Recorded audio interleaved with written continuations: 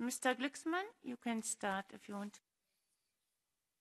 Chers collègues, bon... Colegas, buenos días. Si no hay objeciones, propongo que aprobemos el orden del día de esta reunión.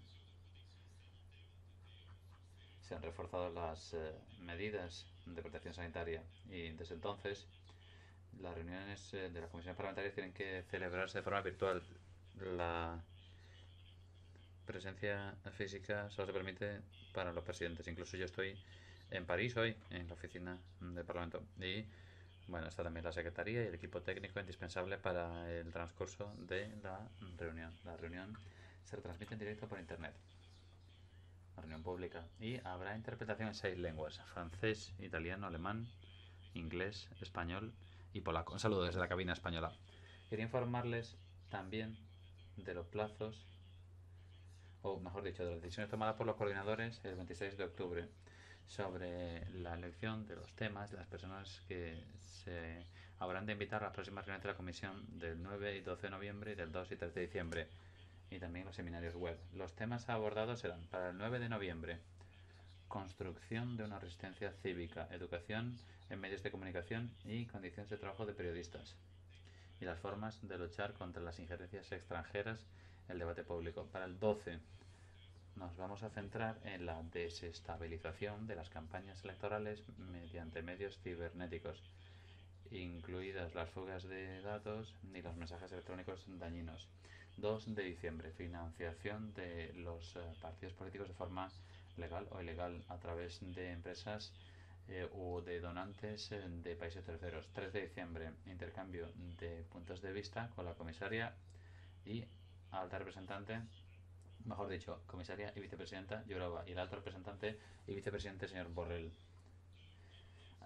Tendrán lugar también dos seminarios web. Uno sobre la función de los periodistas contra la propaganda y sobre los ataques de la propaganda contra los medios de comunicación. Y el otro sobre la injerencia extranjera en materia de publicidad. Se hablará ahí de la función de la publicidad. Propongo que empecemos ya con la sesión de hoy. Debate público sobre las injerencias en Europa. Tenemos tres invitados. El primero, Dimitri Teperik, que está en Tallinn, en Estonia. Él dirige el Centro Internacional para la Defensa y la Seguridad, una organización que detecta y analiza las amenazas eh, en términos de defensa en Estonia, la Unión Europea y en la OTAN. El señor Teperik dirige proyectos de investigación internacionales y actividades de concienciación centradas en los países del este, Báltico y la Unión Europea. Estudia también eh, los vínculos entre la comunicación y el comportamiento y el tema de la resiliencia de los países europeos y la necesaria concienciación en torno al trato o tratamiento de la información. Este debate nos va a permitir eh, formas cognitivas de delimitar la desinformación hostil desde el extranjero y que lleva a un aumento de la polarización de nuestras sociedades y a la puesta en cuestionamiento contra el juicio de nuestras eh, organizaciones públicas. Señor Teperik, tiene usted la palabra. Diez minutos.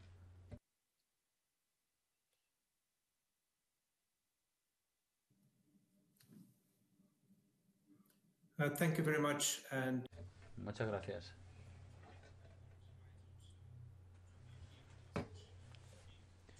Es un placer estar aquí con todos ustedes y dirigirme a todos los participantes. Abordamos este desafío a través del prisma de la resiliencia nacional. Nuestro centro, junto con otros expertos de siete países, ha definido cinco lagunas principales en la resiliencia nacional de las sociedades en materia de amenaza por parte de desinformación y otras actividades maliciosas. Empiezo con la lista de deficiencias. Deficiencias de valores capacidades, motivación, objetivos, luego eh, deficiencias en materia de comunicación.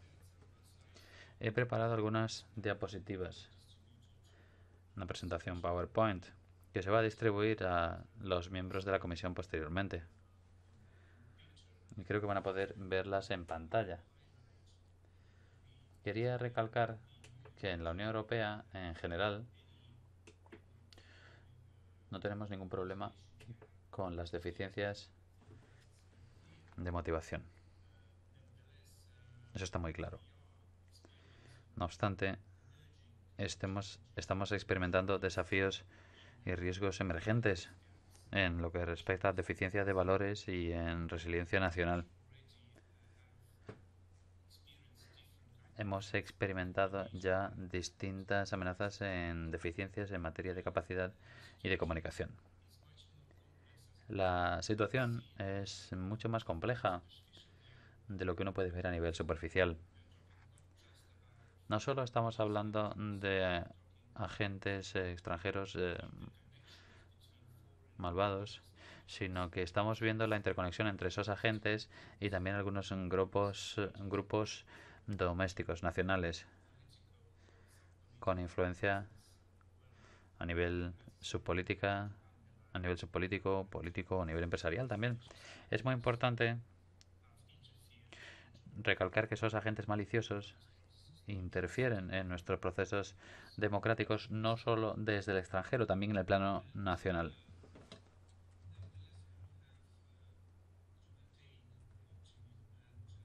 Tenemos que mantener el optimismo. Hemos elaborado algunas medidas para reforzar la resiliencia. Y voy a recalcar seis pasos o medidas básicos para este fin. Concienciación es el primer elemento. Crear una concienciación robusta sobre las vulnerabilidades en el seno de la sociedad. Sobre los grupos vulnerables, básicamente.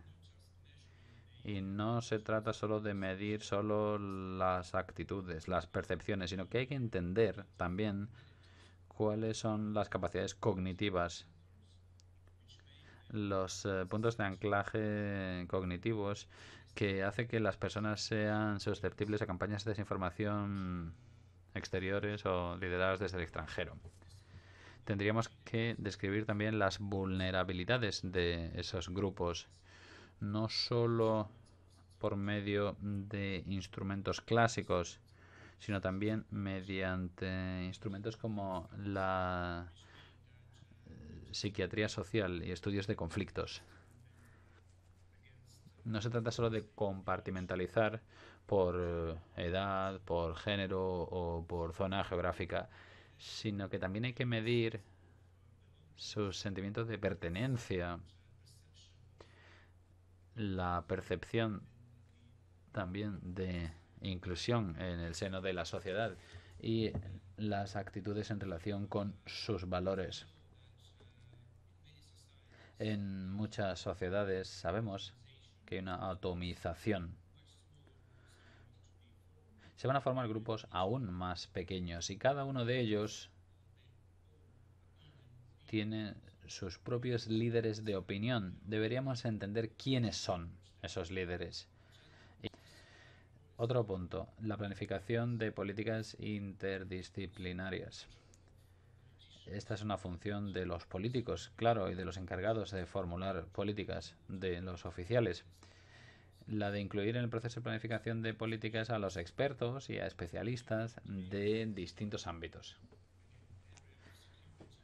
Seguridad, por ejemplo, psicología social, estudios de conflictos, estudios de religión, y claro, también expertos en medios de comunicación y otros afines. Mi centro y nuestros asociados en nuestra red de cooperación prestamos apoyo a ese tipo de toma de decisiones políticas mediante la elaboración de investigación y análisis orientados a las políticas. Quería recalcar yo que no se trata de investigación académica realizada en centros universitarios. Algo muy necesario, sí, pero lo que nosotros intentamos sugerir y prestar como apoyo a los encargados de formar políticas, eh, pues es eh, con análisis orientados a políticas que pueden hacerse de forma muy rápida. pero para ello deberíamos asignar fondos rápidos que los llaman a escala europea. Porque como tal vez sepan, la burocracia de la investigación puede llevar su tiempo y las eh, soluciones son necesarias rápidamente. La ejecución de contramedidas incluye, a nuestro modo de ver, el aprendizaje adaptativo y la formación también. Por ese motivo tenemos o impartimos cursos públicos sobre seguridad, desinformación y resiliencia. Tales cursos tienen una larga historia, al menos en mi país, en Estonia. Esos cursos se han organizado durante más de 20 años ya. Hace cinco años, conjuntamente con colegas de otros países, decidimos eh, pasar a escala internacional y organizar una formación de capacidades para jóvenes y expertos, jóvenes profesionales de Europa del Este, digamos de los miembros eh, Europa del Este como los países bálticos, Polonia y otros eh, países, países también de la Asociación Oriental, como por ejemplo Ucrania y Moldovia, y además Georgia. Países que se enfrentan a desafíos muy similares en lo que respecta a la desinformación y hemos mantenido esa plataforma de cooperación, algo que reviste una crucial importancia para nosotros en aras de intercambiar la experiencia que atesoramos y aprender unos de los otros. Es un proceso en curso, esa formación adaptativa que también se alimenta de las observaciones que llegan de otros estudios, análisis e investigaciones de los que ya les hablé antes. Último paso, volver a comunicar con la sociedad, informar al público en general sobre las amenazas, pero ojo, no solo sobre las amenazas, también hay que informar al público sobre nuestros logros con educación no formal, digamos. Esto, creemos nosotros, va a mejorar y ampliar la comunicación horizontal e interna entre distintos sectores y grupos. La interdisciplinariedad es una cuestión clave en este sentido. Ese enfoque tiene el potencial de intensificar y diversificar la comunicación con asociados extranjeros y con los aliados, no solo en la Unión Europea o el seno de la OTAN, también con países eh, afines, como por ejemplo Ucrania, Georgia, Moldovia, Singapur, Taiwán, Corea del Sur. ¿Por qué no aprender también de cómo aplican ellos contramedidas eh, frente a la desinformación china? Pensamos que es muy importante, aplicable también para ustedes, la educación de distintas partes interesadas en distintas fases de la resiliencia, la ciberseguridad y la desinformación. Ese tipo de esfuerzo debe ser un esfuerzo periódico que implique a políticos y oficiales gubernamentales de distintos países. Y hay que lograr el mayor nivel de interdisciplinariedad posible. También estamos trabajando y aplicando un modelo eh, sobre ciberseguridad en tecnologías de la información. Esos desafíos eh, van a estar con nosotros durante décadas, creo. Así que hace falta que tengamos un modelo muy sólido para las competencias relativas a la ciberseguridad.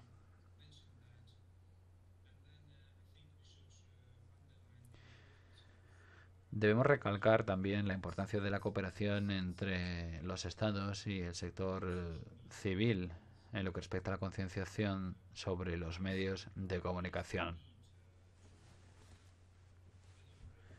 Hay que elaborar eh, un enfoque más impulsado por eh, las pruebas, con una mejor base metodológica en lo que respecta a los medios sociales. Esto se puede hacer de forma muy productiva entre gobiernos, políticos y sociedad civil. Muchísimas gracias por haberme escuchado. Y ahora, si tuvieran preguntas, sería un placer intentar eh, responder a ellas. Sí, si no, pues podemos entablar un debate. Gracias.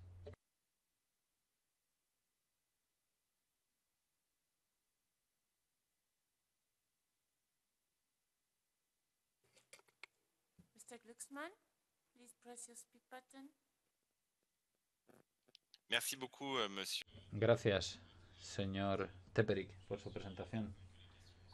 Estoy seguro de que le van a plantear muchas preguntas, como suele ocurrir.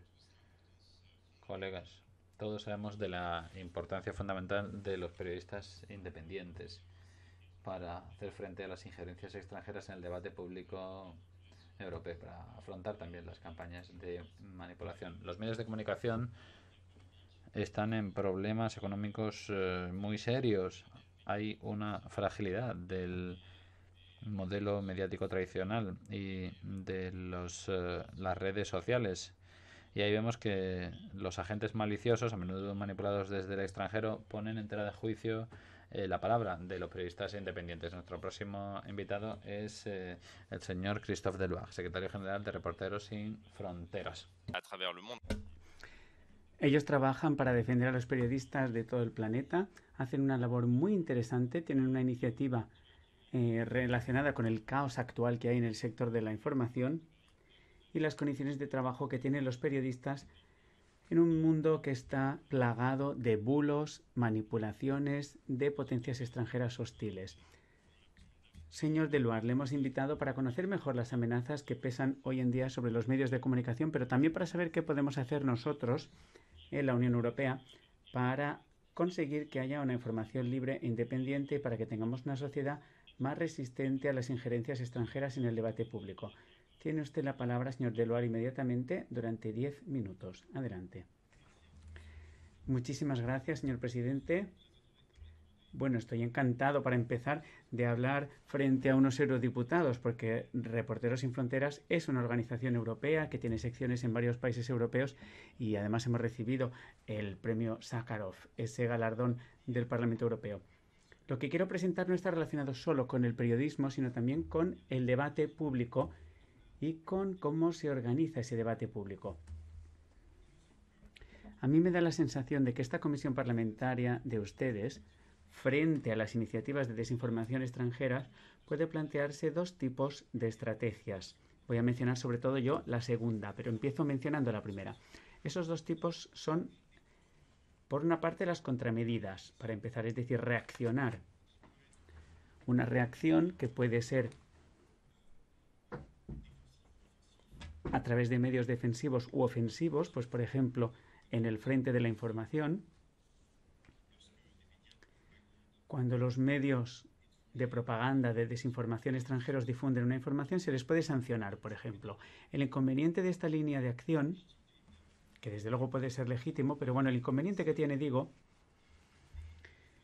es que puede llevar a una situación en que un país extranjero considere hacer lo mismo y vaya a sancionar también a otro medio de comunicación que a lo mejor es más libre, más independiente de un país europeo, como revancha, diciendo ustedes atacan a nuestro medio de comunicación, nosotros al suyo, y hay un riesgo entonces de que aumente la tensión y se use esa falsa simetría por parte de medios o de potencias extranjeras. El segundo método sería garantizar el debate público, organizar el espacio público. Un método que consiste en considerar que es verdad que Internet es abierta a día de hoy, pero la Unión Europea aún así puede imponer normas. Y esas normas van a favorecer esa lucha contra algunos fenómenos, entre ellos el de la desinformación. Es una estrategia, de hecho, que consiste no tanto en tratar los síntomas, es decir, la desinformación o los bulos o los rumores, sino tratar las causas. Y esas causas son que nuestros espacios públicos, democráticamente, históricamente, estaban protegidos, se aplicaban unos principios, pero en el mundo digital, en Internet, en esa información mundializada, han saltado esos límites. Nuestro espacio de debate público estaba protegido y organizado gracias a garantías constitucionales, gracias a que estaban regulados los medios de comunicación, una regulación invisible para el gran público, pero que tenía sus ventajas, y gracias a la autorregulación de los propios periodistas. Todo esto, ya digo, ha saltado por los aires. ¿Cómo podemos recuperarlo? Para recuperarlo nosotros en Reporteros sin Fronteras tenemos dos iniciativas que menciono brevemente, una macro y una micro. La macro es una iniciativa sobre información y democracia, que consiste en lo siguiente. ¿Quién organiza el espacio público? Ya no son los parlamentos, sino las plataformas digitales. Ellas son las que dictan las normas. Básicamente, el código es la ley. Code is law, que se dice en inglés. Es decir, los programadores informáticos, en otras palabras, son los que legislan de alguna manera. Así que esas plataformas digitales pueden ser estadounidenses, pueden estar controladas por otros gobiernos extranjeros la pregunta que se plantea es cómo el sistema democrático puede recuperar, restablecer esos principios. Un año después de haber presentado esta iniciativa, que fue a finales de 2018, obtuvimos hace ya un año en la Asamblea General de las Naciones Unidas que se firmara una asociación por la información libre que protege el espacio de debate público. Ese partenariado esa asociación la ha firmado hasta el día de hoy 38 estados, 21 son miembros de la Unión Europea. Y es la primera vez que hay países, estados, que le imponen a las plataformas, o más bien hacen un llamamiento a las plataformas a que respeten una serie de principios. Y luego, para entrar en mayor profundidad, es decir, para que haya una regulación más sistémica, hemos creado un órgano que se llama el Foro de la Información y Democracia, y la semana próxima publicará su primer informe. Ah, no, en tres días concretamente, un grupo de trabajo que presentará sus primeras conclusiones y que pretende regular de forma sistémica, pero no es regular en contra, sino regular por una serie de principios, pero que puede tener efectos muy fuertes en los síntomas yendo a la causa misma. La próxima reunión del grupo de trabajo de ese foro de información y democracia tratará la cuestión de la sostenibilidad del periodismo en la Unión Europea y fuera, es decir, cómo en una época en que el periodismo está muy frágil por muchísimos motivos y frágil económicamente también, qué ecosistemas pueden crearse, pues por ejemplo desde el punto de vista jurídico, para favorecer unas instituciones que puedan de verdad ejercer un periodismo de calidad. En cuanto a todos los principios que plantea la iniciativa de información y democracia, una es que las plataformas deben... A ver si me explico. Repito, las plataformas tienen que usar mecanismos de promoción de fiabilidad de la información, es decir, no tanto lucha contra el contenido que vaya en contra de la libertad de expresión o que sea desinformación. Repito, eso sería legítimo también, pero aquí queremos una actuación positiva, fomentar los contenidos que sí se preparan según los valores del periodismo. Es decir, método de verificación, de contrastar, con el enfoque editorial, respeto de las normas deontológicas, todo eso tiene que estar garantizado. Y hemos presentado una iniciativa muy europea, bajo la égida del Comité Europeo de Normalización. Así es como surgió. Se definió con entidades de todo el mundo, de toda Europa, pero incluso fuera de Europa, Estados Unidos, Corea del Sur, Taiwán se definió, digo, un marco de referencia sobre el periodismo, acabó siendo una norma dentro del Comité Europeo de Normalización y ahora nos permite la segunda fase, la de la aplicación, gracias al mercado de la certificación, crear ventajas para aquellos que sí dan garantías, es decir, que se defiende el derecho de los periodistas. ¿Cuáles son las ventajas? En la indexación algorítmica de las plataformas digitales, Habrá ventajas también en cómo se asigna el gasto publicitario por parte de los órganos reguladores. Algunos países europeos mandaron, de hecho, para representarles a sus órganos reguladores o por parte de los filántropos o patrocinadores que tienen que elegir. Porque es que a día de hoy nos encontramos por primera vez en la historia de las democracias ante una competencia directa entre contenidos que no tienen nada que ver unos con otros. Por un lado, la propaganda de estados eh, extranjeros, por otro lado, la publicidad, por otro lado, información patrocinada por patrocinadores, luego la información de periodistas, la opinión, todo eso está mezclado. Así que hace falta recuperar esa diferenciación, una diferenciación que no sea al azar, y que no sean tampoco ni los estados ni las plataformas los que decidan quién merece que se fomente su contenido, sería muy peligroso. No, es simplemente un mecanismo basado en la confianza.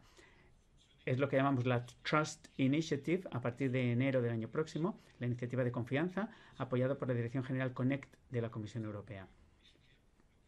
Hemos hablado en varias ocasiones con el comisario Thierry Breton, que se encarga de la ley de servicios digitales, porque hay una fase muy clara que va a ser importante. Y después ustedes, eurodiputados, tendrán su papel fundamental que desempeñar. A partir del 2 de diciembre se anunciará la Ley de Servicios Digitales, de Mercados Digitales, el Plan Europeo de la Democracia y el Plan Europeo de Medios de Comunicación. Nosotros pensamos que esas dos iniciativas que acabo de mencionar tienen un, color europeo claro, un aroma europeo, que permite imponer un modelo europeo o tener un modelo europeo y la Unión Europea yo creo que tiene realmente interés en aprovechar estas situaciones, estas iniciativas que permiten no tanto volver al mundo de antes, porque no vamos a volver al mundo de antes, que además tampoco era perfecto, pero sí lo que queremos es permitir evitar que el flujo de información sea destructor para las democracias. Es el momento de organizar el espacio de debate público. La pregunta es cómo. Y el cómo no podemos aceptar que lo defina ni Mark Zuckerberg, así de sencillo, ni tampoco que se defina en el plano geopolítico por parte de los dirigentes asiáticos. No. Tenemos que llegar a garantizar ese espacio de debate público y dar herramientas jurídicas que permitan imponer esa visión democrática frente a los regímenes despóticos, porque lamentablemente todos los canales de información incluyen también una forma de competencia desleal por parte de los regímenes despóticos frente a las democracias. Los regímenes despóticos, lógicamente, tienen una ventaja competitiva y lo que queremos es recuperar un poco el control. Podría haber planteado la cuestión también de la defensa y sostenibilidad del periodismo, pero bueno, lo dejamos para otro día. Yo simplemente quería presentar esas dos iniciativas y desde luego aquí estamos a su disposición para colaborar con eurodiputados si están ustedes interesados. Gracias. Merci beaucoup. Gracias a usted, señor Deluar. Doy la palabra entonces ahora a los distintos coordinadores de los grupos políticos y a los diputados miembros de esta comisión después para que hagan preguntas a nuestros invitados.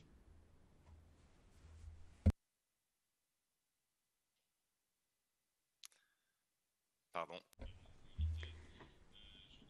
Sí, decía que vamos a dar la palabra en primer lugar al PPE, el señor Lenars, Jerún Lenars. Si me oye usted, tiene usted la palabra. Un minuto. Adelante. Yes, thank you. Pues sí, muchas gracias, gracias presidente y muchísimas gracias a los dos invitados. Voy a empezar por el primer orador, ha sido muy interesante y gracias también por haber destacado esa idea que está tan relacionado los agentes extranjeros y los agentes nacionales, los externos y internos. Esta comisión se llama in injerencias extranjeras, pero es muy interesante recordar que puede haber injerencias de dentro también. Recordarlo en esta comisión parlamentaria. He leído alguno de esos artículos antes de esta reunión y una de las citas suyas me ha llamado la atención. Dice usted, nunca hay que empezar una discusión con un imbécil porque lo único que hace es llevarte a su nivel y acabar aplastándote con su experiencia. Así que yo creo que tiene sentido entender que las lecciones de alfabetización periodística o, desvelar que hay informaciones falsas no sirven de nada, simplemente hace que la gente encima crea más en esas mentiras. A lo mejor usted puede entrar en más detalle. Y si esa no es la forma de avanzar, más alfabetización en medios de comunicación, mejor conocimiento de los medios de comunicación, ¿cómo poder eh, entrar en esas vulnerabilidades cognitivas de esos grupos más débiles ¿Qué hacer con ese caso? Otra cosa que me ha llamado la atención de sus artículos es que dice usted que la Unión Europea tiene que tener un papel más decidido para regular de forma muy estricta a las empresas tecnológicas arrogantes. ¿Qué tipo de regulación podría ser esa? Si no es comprobar la veracidad de los datos, entonces ¿qué podemos hacer? Y uno de los ejemplos prácticos podríamos aprender de Corea del Sur, de Singapur, por ejemplo, en lo que se refiere a qué hacen ellos con la desinformación china. ¿Qué podemos aprender desde el punto de vista práctico. Y luego el señor Deluar. Muchísimas gracias a usted también. Usted hablaba de que haya una regulación más sistémica, o más regulación sistémica, mejor dicho, de las plataformas, redes sociales. pero usted sí que hablaba de comprobar la veracidad de los datos. ¿Cómo se analiza y qué tipo de regulación cree usted que debe ser nuestra prioridad desde ese punto de vista? Y discúlpeme que me haya extendido mucho, pero es que un minuto para opinar sobre dos ponentes es poquísimo. Gracias. Gracias, señor Lenars. En nombre del grupo SID, el señor Mayorino, coordinador del grupo. Adelante. Gracias, presidente. Yo voy a hablar italiano si no les importa.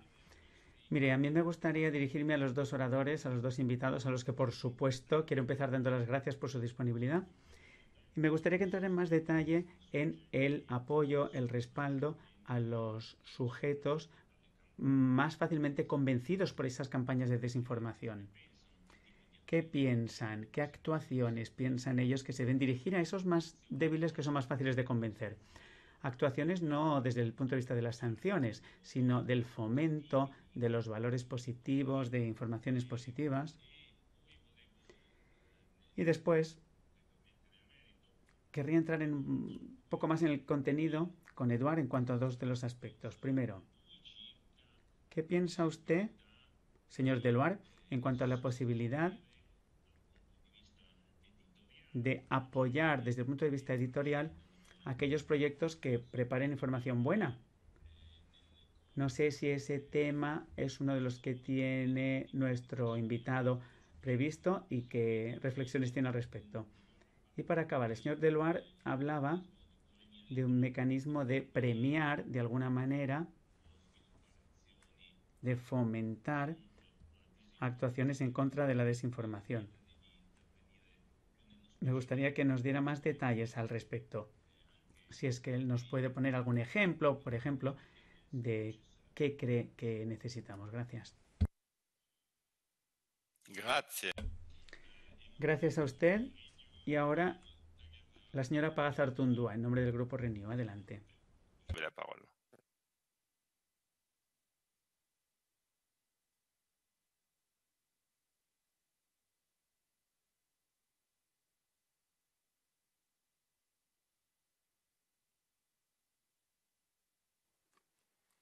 Madame Pagazotundua, uh, please press your speak button.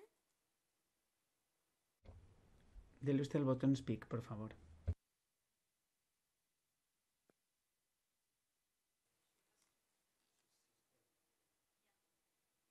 Mrs. Pagazotundua, press your speak. Señora Pagazartundúa, dele el botón speak, por favor.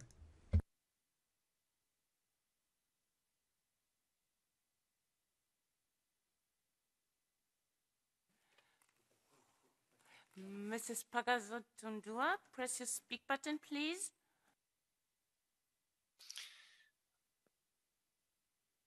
On reviendra euh, Bueno, pues recuperaremos la conexión de la señora Pagazartundúa. Vamos a pasar ahora al grupo ID, el señor Treosto. Adelante.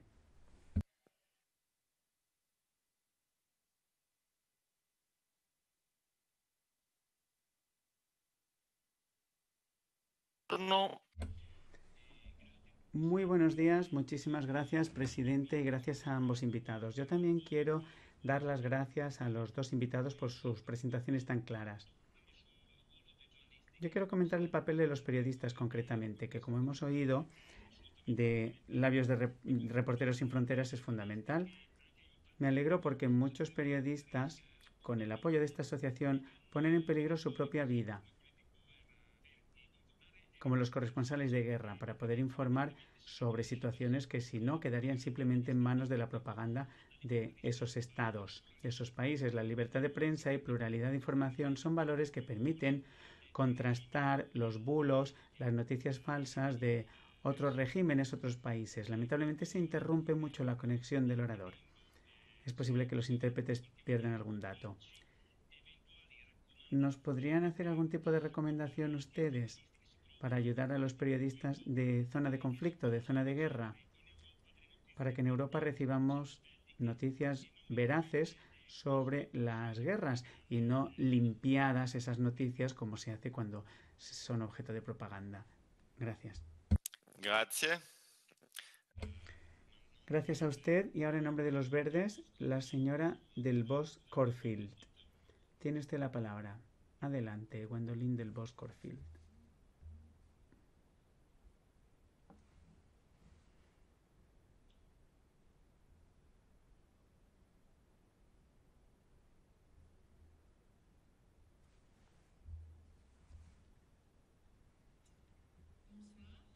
Buenas tardes.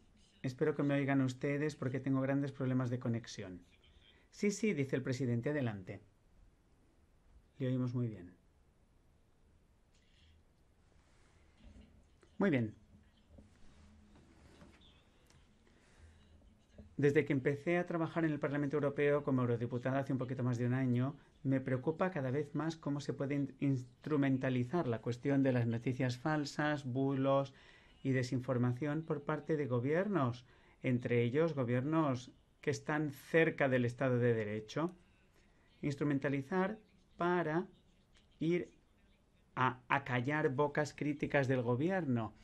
En el caso de Hungría, por ejemplo, el caso más llamativo es la capacidad de Estados miembros de la Unión Europea, como Hungría, pero también como Polonia, de decir que los periodistas son unos traidores cada vez que critican a su gobierno o diciendo que dan informaciones falsas e impedirles que tengan acceso a la información, cosa que el gobierno húngaro hace, no da ninguna rueda de prensa ni da información a periodistas que no haya elegido. Euh, en el grupo que sigue las cuestiones relativas a la democracia, derecho fundamental, Estado de Derecho, el grupo de control sobre esos temas del Parlamento, hemos podido ver que durante la pandemia muchos otros gobiernos en situaciones de estado de urgencia se han permitido pequeñas eh, em, perturbaciones del derecho de los eh, periodistas. Por ejemplo, en Francia hemos visto, y Francia es un amigo del Estado de Derecho, y tenemos leyes que en Francia mm, prohíben a los periodistas trabajar estas cuestiones. Se puede, por ejemplo, hoy en día, o se prohíbe mostrar imágenes de la policía.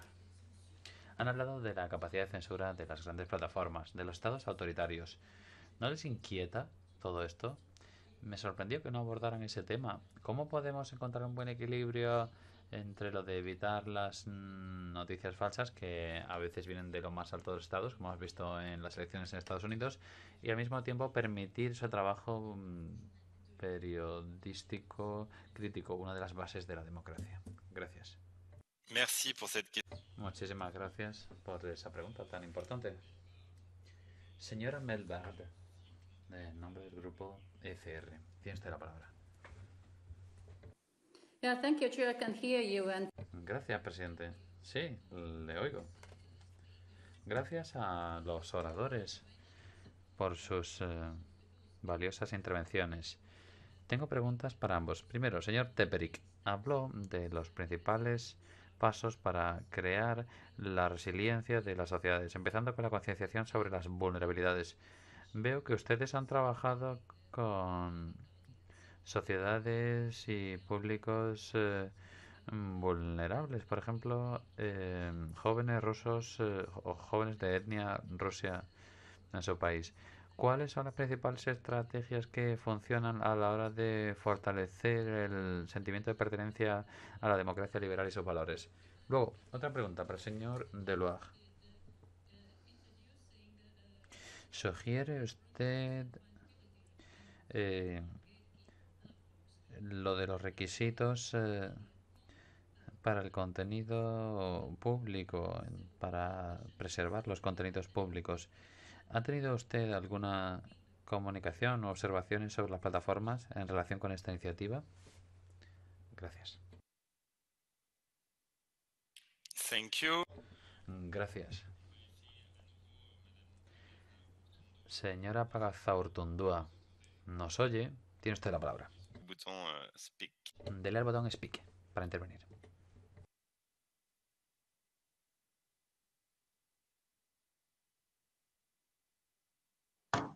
Oui, ah, finalement, merci, merci beaucoup.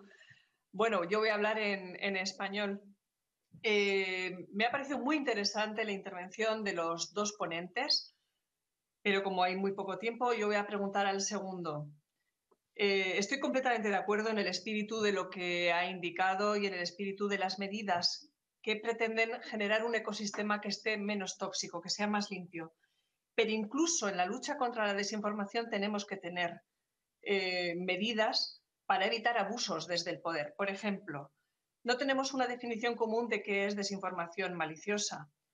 No tenemos una definición común sobre las posibilidades de control judicial o de organismos independientes que puedan ver este tipo de contenidos que definamos como maliciosos y cada país de la Unión Europea tiene además especificidades.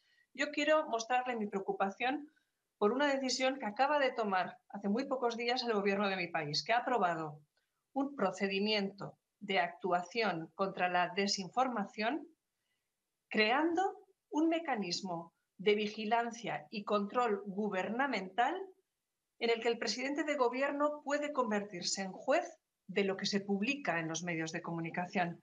Usted, como, como una persona muy, muy experta y todo lo que nos ha indicado yo lo comparto, ¿qué opina de que se abran vías para vigilar a periodistas, a medios de comunicación y perseguir lo que un gobierno determinado considera desinformación, abriendo la posibilidad al abuso y daño de la libertad de opinión que fundamenta el pluralismo ideológico, que es uno de los pilares del Estado democrático de derecho. Yo estoy de acuerdo en la mayoría, en la gran parte de, de las cosas que, que usted ha referido. Me gustaría que me contestara esta pregunta y estamos deseando de leer el informe con las primeras conclusiones que dentro de tres días se van a publicar. Y muchísimas, muchísimas gracias a los dos ponentes. Gracias. Et maintenant pour le PP. En nombre del PP tiene la palabra la señora John de Visiene. Adelante. Gracias, presidente. Muchas gracias a ambos oradores. Sus presentaciones fueron muy informativas y yo estoy de acuerdo con la mayoría de los mensajes que presentaron. Tengo preguntas sobre cómo reforzar la resiliencia frente a la desinformación y cómo defender a los periodistas. ¿Están de acuerdo ustedes con que es necesario distinguir entre los medios de comunicación reales y luego los canales que vienen de países autoritarios que se disfrazan de medios de comunicación, pero en realidad lo que hacen es difundir la desinformación y los llamamos también medios de comunicación. Russia Today, por ejemplo, es un buen caso. Quizás hacen falta descripciones o definiciones más específicas para estos canales. ¿No le parece que no se les puede considerar medios de comunicación? Y hay que ver también las estrategias que utilizan esos medios como los canales de desinformación. Aparte de difundir la desinformación de forma directa, lo hacen de forma indirecta a través de pequeñas plataformas de medios de comunicación basadas en la Unión Europea. Es más fácil aprovecharse de los pequeños medios porque a menudo carecen de eh, la capacidad para identificar las campañas de desinformación extranjera. ¿Qué puede hacerse para aumentar la resiliencia de esos medios de comunicación más pequeños, medios europeos? ¿Qué se puede hacer a nivel europeo para limitar esa difusión de la desinformación? Gracias. Thank you very much. Muchas gracias. En nombre del SID tiene la palabra el señor Sider.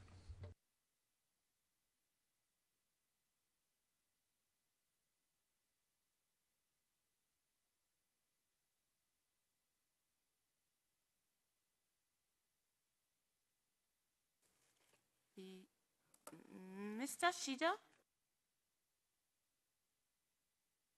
Mr. Now it's working, eh? isn't it? Mr. Shida? ¿Funciona? ¿Me oyen? Sí. Muchísimas gracias a los dos invitados, gracias por sus presentaciones tan interesantes y gracias por animarnos a desarrollar más resiliencia frente a las informaciones falsas. Mi pregunta es la siguiente. ¿Qué harían ustedes dos por sus experiencias, por sus estudios, para actuar contra las plataformas de desinformación, como Bitcoin, por ejemplo? ¿Qué se puede hacer frente a esas plataformas? ¿Cómo podemos protegernos frente a esas plataformas? Y la segunda pregunta que tengo es, ¿cómo se puede generar información para que llegue más a esos grupos que están más en riesgo de caer en la desinformación? ¿Cómo podemos dirigir la información auténtica a esos grupos que están en más peligro de creerse la desinformación? Y después, todas estas actividades de desinformación y todas estas plataformas, lógicamente, tienen financiadores. ¿Cómo podemos en el futuro actuar contra esos financiadores de la desinformación? Porque lógicamente no estamos hablando de información, sino de desinformación. ¿Cómo podemos actuar también contra sus fuentes de financiación? Gracias. Renew. En nombre del grupo Renew tiene la palabra el señor Ostrevicius.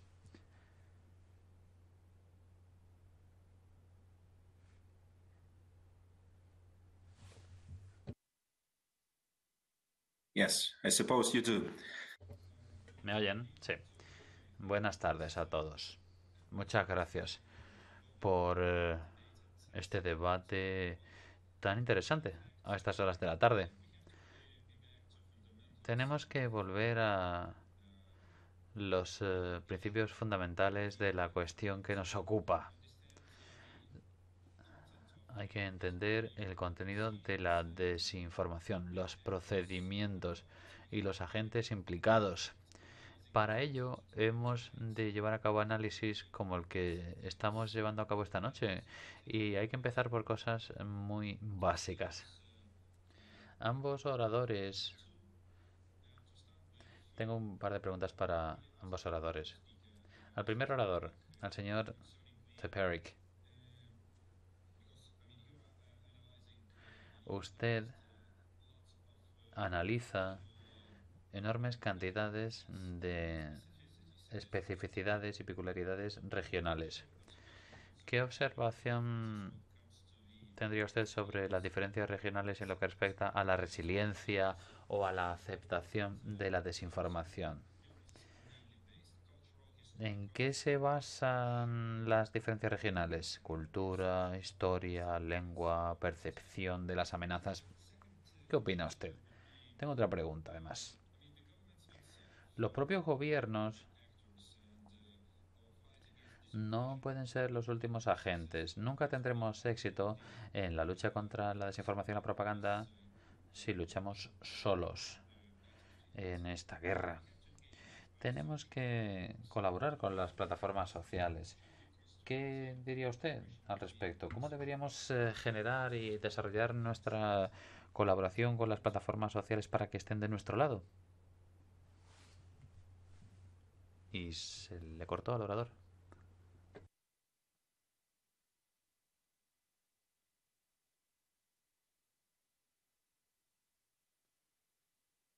Mr. Ostrevicius. Señor Ostrevicius, le perdimos. Creo que toqué un botoncito por aquí y le corté. ¿Puede acabar su pregunta? O plantearla. Mr. Ostrevicius, please press on the speak button once more.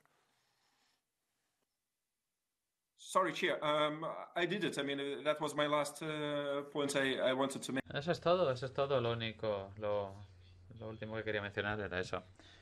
Señora Blavak, en nombre del PP, tiene usted la palabra.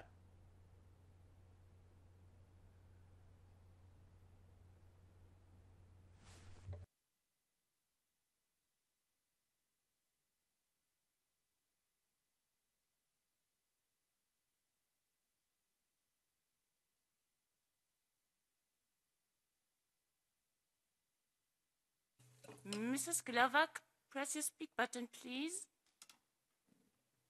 Mrs. Glavak. Do you hear Señora Glavak. ¿Me oyen? Sí. Muy bien, gracias. Gracias, presidente. La rápida evolución de la tecnología y el aumento del crecimiento del consumo de Internet en algunas personas va en la dirección eh, errónea. La desinformación es una amenaza para nuestra sociedad y tenemos que luchar contra ella.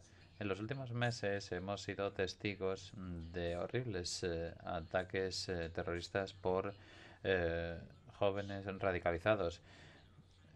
Acabamos muy sorprendidos del asesinato brutal de Samuel Petty, el profesor francés, y eh, incluso se subió a Twitter el ataque.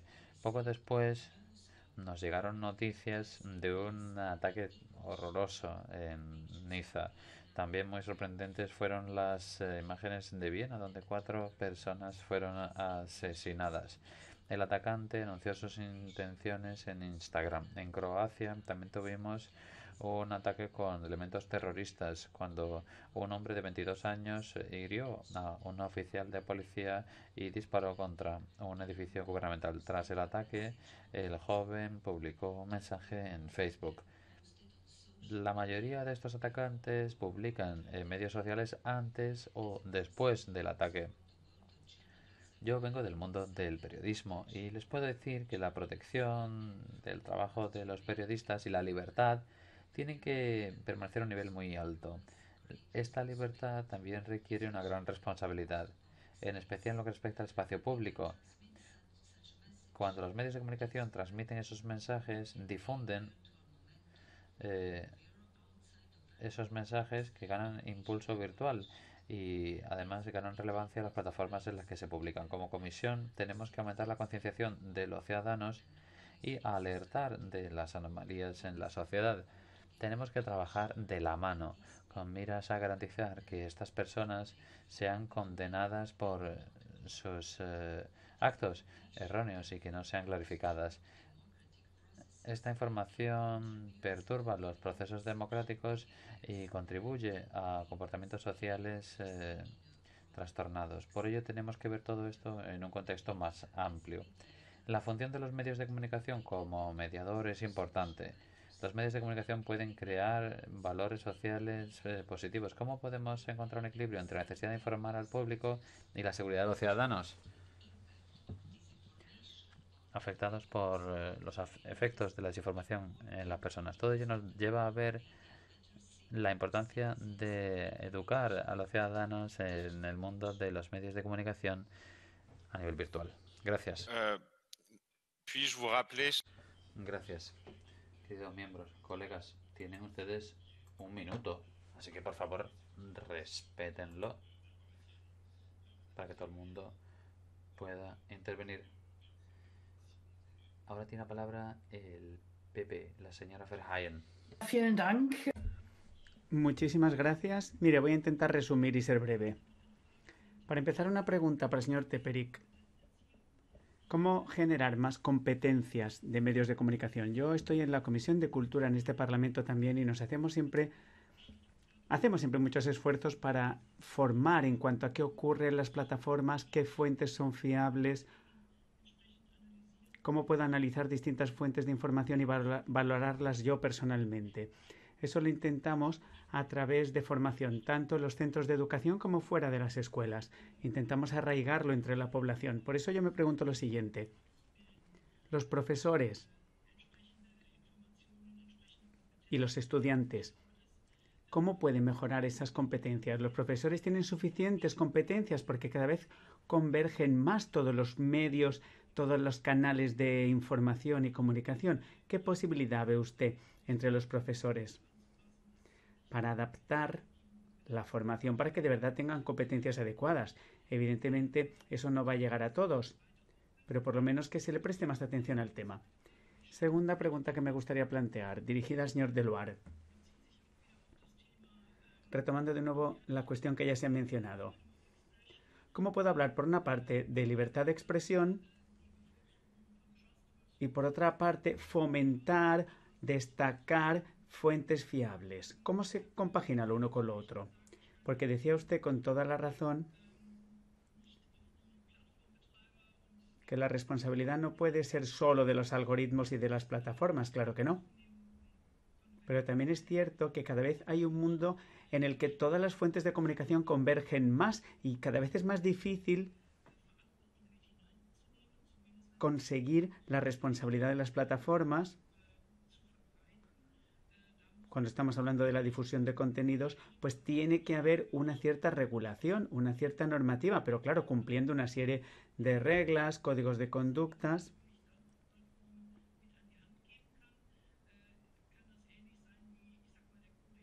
Pero si se le da un código de conducta a una plataforma puede ocurrir lo mismo que con el código ético de un periodista.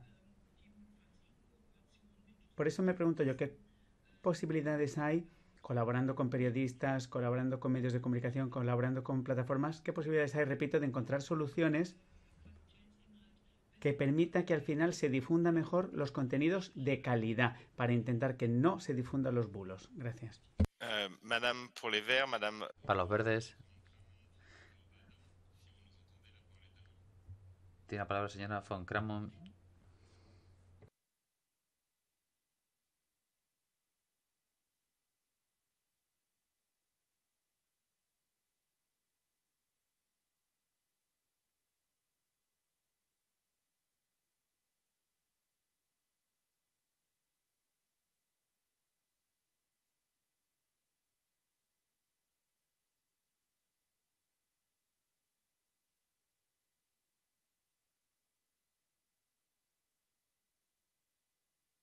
Mrs. von Kramont, are you there? I, oh, I, I pressed the speak button many times. Le di, le di muchas veces al botón speak. Gracias, presidente, y gracias a los oradores. Mi colega Rasa ya planteó una pregunta que quiero dirigir a Christophe Deloire. Se hizo una distinción entre los periodistas que requieren protección y esta guerra híbrida con personas que luchan en nombre de dictaduras autoritarias. ¿Cómo lo hacen en el seno de la organización? Luego, para Dmitry Teperik, el soft power ruso, la narrativa histórica de la Segunda Guerra Mundial la utilizó el Kremlin de forma activa. Lo hemos visto en Ucrania de forma muy flagrante y ahora en Bielorrusia. Estonia tiene mucha experiencia, a veces controvertida, para contrarrestar eh, todo eso. ¿Qué medidas sugeriría usted para las otras, eh, los otros eh, antiguos países soviéticos que tienen problemas similares? Y luego, usted habla ucraniano. Los bots y los troles rusos en los eh, medios sociales eh, defienden esa narrativa de que Ucrania es un estado fallido, que no tiene una mm, estructura operativa como estado. Hay eh, medios en su país que son prorrusos y que defienden esa narrativa. ¿Qué evaluación hace usted de la actual crisis constitucional en Ucrania? Desde el punto de vista de la reacción rusa. ¿Es algo que han eh, explotado los troles y los bots rusos? Gracias. Gracias. Señor Andrews tiene la palabra. Adelante. Barry Andrews, adelante. Pues sí, muchísimas gracias, presidente. Para empezar, al señor Teperik, muchísimas gracias por su presentación tan clara. Ha sido excelente y enhorabuena a Estonia porque sigue siendo un líder mundial en este frente. Dos preguntas. Hablaba usted de que hay carencias de valores en los Estados miembros de la Unión Europea, en resiliencia concretamente. ¿Nos puede dar más detalle al respecto? Y en segundo lugar, decía usted que no hay fondos rápidos en este ámbito y que la burocracia en materia de investigación es un problema. Por eso no avanzamos en este frente. ¿Qué recomienda usted que haga esta comisión parlamentaria para que ese obstáculo desaparezca, para que podamos conseguir los objetivos de esta comisión parlamentaria? Y al señor Deloire es una pena que no tengamos más tiempo como para hablar con usted largo y tendido. Ha sido muy interesante. Usted ha citado que la crisis de la sociedad occidental es una crisis de periodismo. Estoy de acuerdo. No hay un país libre si no hay prensa libre. Pero me gustaría que nos dijera usted qué piensa de las elecciones de Estados Unidos y ese equilibrio entre proteger la democracia y evitar la censura. Algunas de las plataformas de redes sociales lo han mencionado. ¿Qué tal lo han hecho las redes sociales en las elecciones europeas? ¿Cómo han conseguido ese equilibrio? Muchísimas gracias. Señora Adamovich, tiene el nombre del PP en la palabra. Adelante.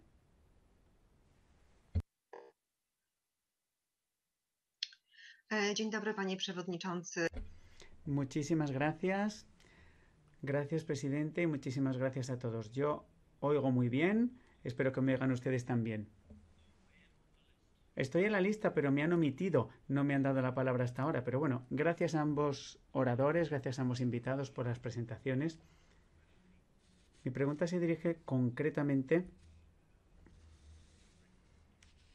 al señor Christophe Deloire, de Reporteros Sin Fronteras.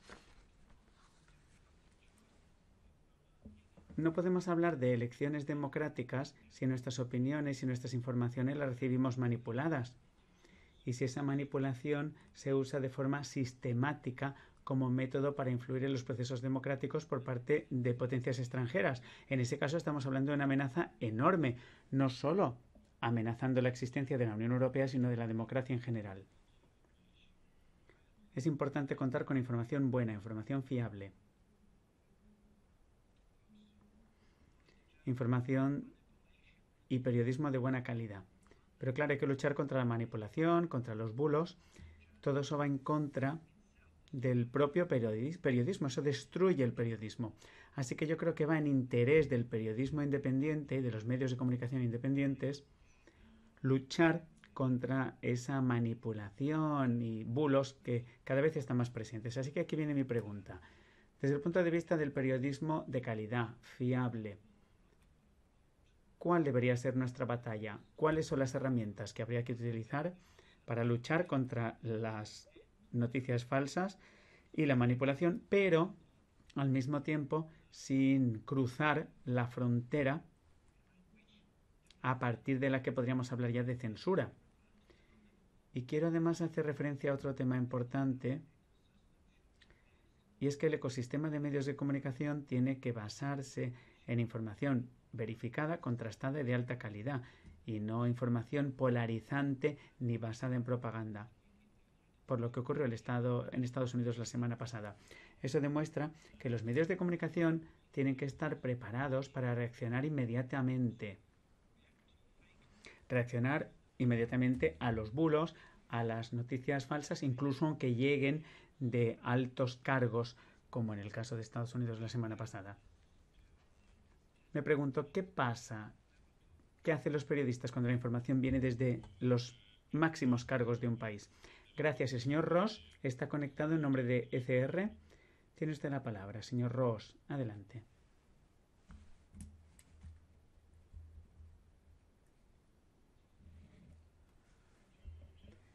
Sí, muchísimas gracias, presidente, y gracias a ambos invitados. Yo estoy de acuerdo en que es fundamental esa resiliencia contra la desinformación, pero también es verdad que eso se puede usar de forma errónea, puede hacerse abuso de eso por parte de los gobiernos para intentar evitar una información contraria al gobierno. Como hemos visto en las elecciones de Estados Unidos, Twitter, Facebook han puesto límites al contenido electoral y luego muchos grupos escépticos bloqueaban el acceso. Hemos visto básicamente que Facebook y Twitter han influido y han regulado las opiniones de los ciudadanos. Yo creo que esas empresas digitales tienen tanto la responsabilidad de dar foros mmm, variados como de garantizar la libertad de expresión lo importante es, es intentar luchar contra la amenaza. Yo creo que el ciudadano de la calle es suficientemente inteligente como para evaluar su propia información. Tengo dos preguntas. ¿Cómo podemos regular que las grandes empresas de tecnología respeten el derecho, la libertad de expresión? Y después, ¿qué políticas podemos plantearnos para que los que comprueban la veracidad de la información sean independientes? Gracias. Gracias a todos los diputados y diputadas que han intervenido. Yo añado al señor Deluar una pregunta por mi parte. Y es que por la mañana uno puede abrir el periódico, El Fígaro en Francia, por ejemplo, y ver publicidad que se presenta como si fuera un artículo, con publicidad del gobierno chino o ruso. ¿Qué nos puede decir al respecto? Porque se pueden defender a los medios de comunicación, pero ¿qué pasa con la responsabilidad de los medios de comunicación tradicionales que autorizan anuncios, propaganda de ese tipo, disfrazadas de publicidad? Es decir, es propaganda en los medios de comunicación tradicionales. No solo defenderlos contra la propaganda, sino cómo hacer que no se cuele esa propaganda dentro de los propios periódicos. Vamos a escuchar de forma simétrica, o especular más bien, al señor Deluar primero y al señor Teperic después. Tiene usted siete minutos. Señor Deluar. Gracias por las preguntas. Voy a intentar responder. No sé si llegaré a, a todas las preguntas, pero bueno, empiezo por la última, señor presidente. Yo creo que esto retoma claramente algo que yo quería decir justo para empezar. Bueno, por supuesto, los medios de comunicación tienen su responsabilidad y nosotros, periodistas, nos pasa que también protestamos porque hay medios de comunicación, se supone que son democráticos y que, sin embargo, transmiten la propaganda de Estado. Y usted dice que se mezcla de alguna manera el periodismo y la propaganda o publicidad de un Estado. Yo quiero hacer un matiz. Y es que, aún así, en nuestros periódicos, en los países europeos de forma general, la diferenciación es bastante clara entre el contenido periodístico y el contenido publicitario. Y de hecho es una diferenciación marcada por la ley. La legislación indica que se tiene que hacer esa diferencia. Y eso retoma lo que decía yo al principio. Y es que nuestras democracias siempre han impuesto unos marcos reguladores con normas y ese ejemplo de distinción entre contenido periodístico y publicidad es un buen ejemplo. Porque, por ejemplo, algunos de ustedes han hablado de la cuestión de educación en medios de comunicación. Antes decíamos, basta con que la gente entienda qué es periodismo y qué es publicidad. No, no se decía eso, se decía hay que distinguir, hay que obligar a esa diferenciación. Claro, evidentemente eso no impide que haya casos de corrupción entre ellos de los periodistas, pero por lo menos había unas normas claras y esas normas claras han desaparecido ahora. ¿Qué relación hay con las plataformas? Es una pregunta que ustedes me han preguntado en varias ocasiones. Las plataformas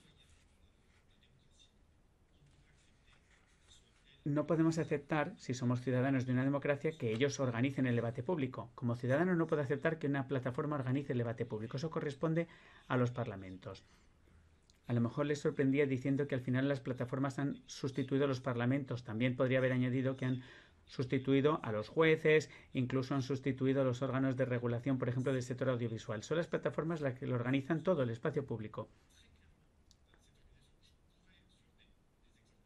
Podría poner ejemplos muy concretos de países que demuestran que las leyes que antes aprobaban los parlamentos ahora las aprueban las plataformas. Son normas, pero esa es la realidad. Así que lo que preconizamos ahora es no entrar en la autorregulación de las plataformas porque eso ha demostrado que tiene sus límites. El grupo de alto nivel de la Comisión Europea lo ha confirmado. Las plataformas están en una lógica de negocios, en el mejor de los casos, o trabajan en nombre de un régimen despótico, en el peor de los casos. Hay que imponerles normas.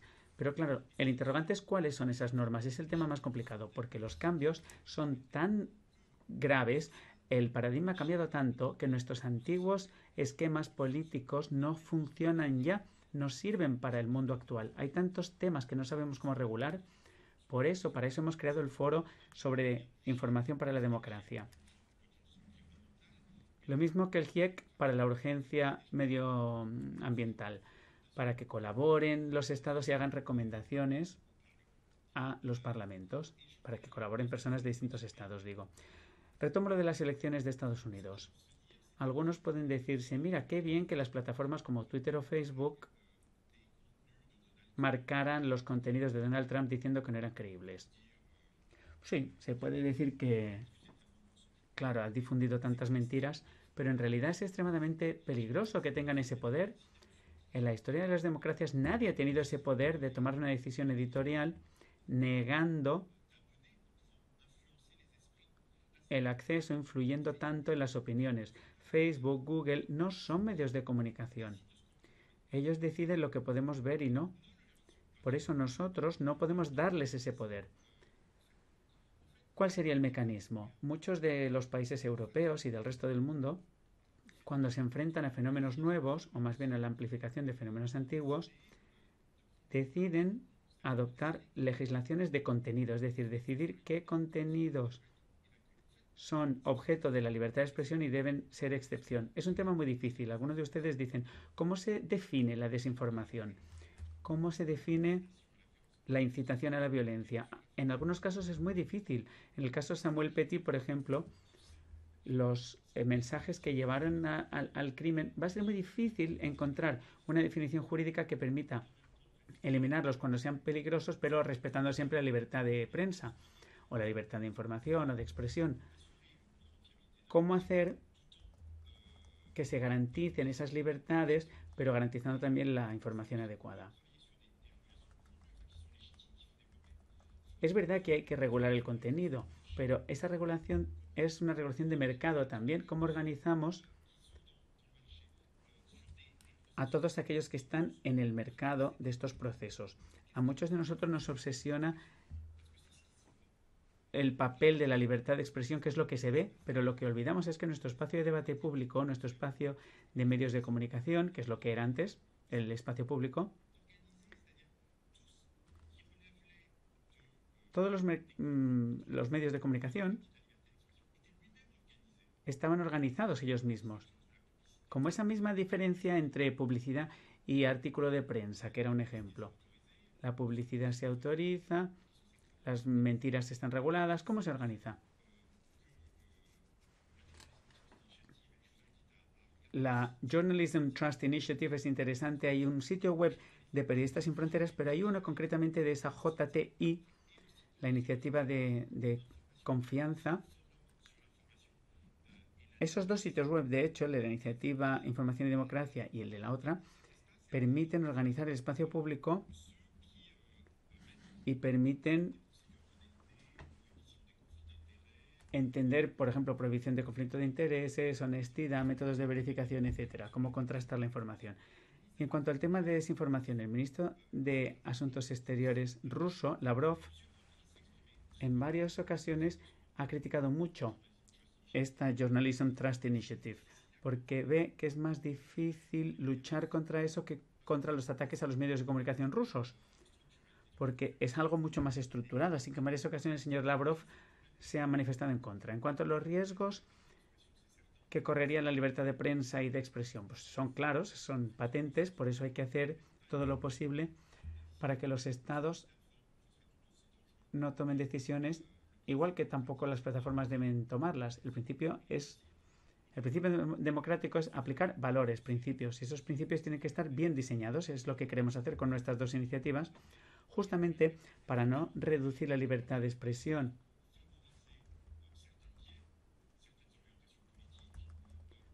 que no se favorezcan algunas opiniones políticas, que no se fomente tampoco un conformismo que sería muy peligroso también. Así que hablemos de los principios y eso nos va a permitir, cuando lleguemos a un acuerdo, garantizar que se organice bien el espacio mm, público. Para acabar, la defensa de los propios periodistas, que mencionaban ustedes también, porque claro, las plataformas matan el periodismo. Hay que intentar que eso no ocurra, pero está la cuestión de los propios periodistas. No voy a poder entrar en la cuestión del método, pero sí puedo decir claramente que a día de hoy la Unión Europea, que de lejos, con mucho, es la zona del mundo que más libertad de prensa tiene, según el ranking que publicamos nosotros, tiene que ser siempre un paladín de esa libertad de prensa. Los estados tienen que salir de esa lógica de la competencia para que los países de la Unión Europea se movilicen todos juntos para evitar esa competencia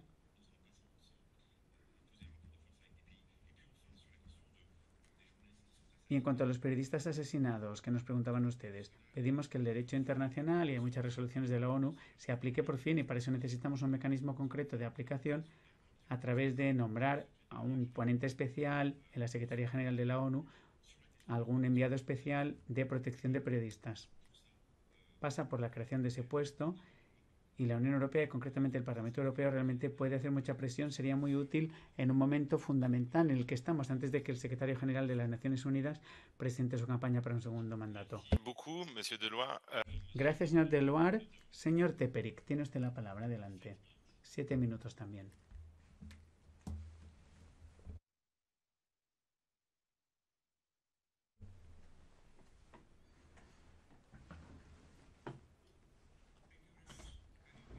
Gracias. Supongo que me oyen ustedes. He tomado nota de todas sus preguntas y ojalá tuviera más tiempo para entrar en más detalle, pero lamentablemente tengo tiempo limitado. Voy a responder el máximo posible, pero bueno. quiero empezar por la complejidad del tema, porque la alfabetización en medios de comunicación no es la varita mágica.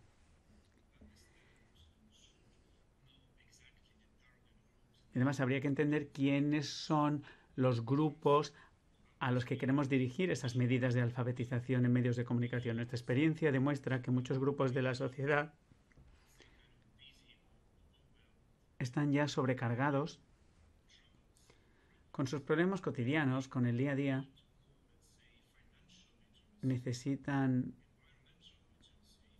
más, a lo mejor, alfabetización financiera o medioambiental o sanitaria, ahora que estamos en medio de la pandemia o frente a otras enfermedades que no sean solo coronavirus, la alfabetización en medios de comunicación no es esencial para ellos, en su opinión, desde su punto de vista. Así que tenemos que ser cuidadosos, cautelosos y no podemos sugerirlo como varita mágica que lo vaya a resolver todo, sino simplemente, bueno, es verdad que es importante que eh, los eh, planes de estudio incluyan la el pensamiento crítico y no solo en los centros de educación, sino a través también de la educación formal e informal para distintos grupos, también para las personas de mayor edad de nuestros países. Uh, Lo de el alfabetismo, la alfabetización sobre medios, pues depende mucho de una demanda y una oferta fuertes hay que abordar eh, la gama de canales eh, disponibles. Y así estamos viendo la oferta en este, en este proceso. Hay que entender la psicología subyacente tras la demanda. Porque hay unos grupos en nuestra sociedad que eh, tienen una mayor tendencia a consumir información falsa o que son mucho más susceptibles a la desinformación que otros grupos. Esto se hace a través de la investigación en lo que respecta a la psicología de la confianza y la desconfianza. Y ahora abordo lo de la deficiencia de valores en la Unión Europea. Con esto estamos siendo testigos de distintas percepciones de la diplomacia y la democracia frente a distintos grupos vemos una voluntad creciente de realizar compensaciones con algunos eh, derechos y libertades en distintos eh, países. Hay que entender qué hay detrás de esos procesos. Porque los letones, los estonios, portugueses, eh, franceses, polacos, pues mm, qué derechos, qué libertades eh, pueden, digamos, eh, en qué derechos, en qué libertades pueden ceder y en cuáles no. Estoy de acuerdo con lo que decía el orador precedente. Las plataformas deben rendir cuentas por la difusión de los contenidos falsos hay que ver qué puede hacer el Parlamento Europeo para obligarlas a poner en común grandes volúmenes de datos. Todos estos algoritmos ocultos, cubiertos, que imponen o producen contenido artificial.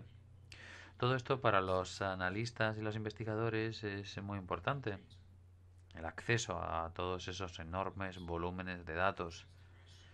También me gustaría hablar del tema de la injerencia rusa. Se hablaba de las diferencias regionales y es cierto, sí, en los estados bálticos, en Ucrania, en Polonia, en la República Checa y en otros países en Europa Central y del Este, la narrativa, el relato histórico desempeña una función muy importante. El Kremlin intenta manipular todo eso con distintas percepciones históricas en el seno de diversos grupos. Esto no ocurre en otros países, o al menos eh, al mismo nivel.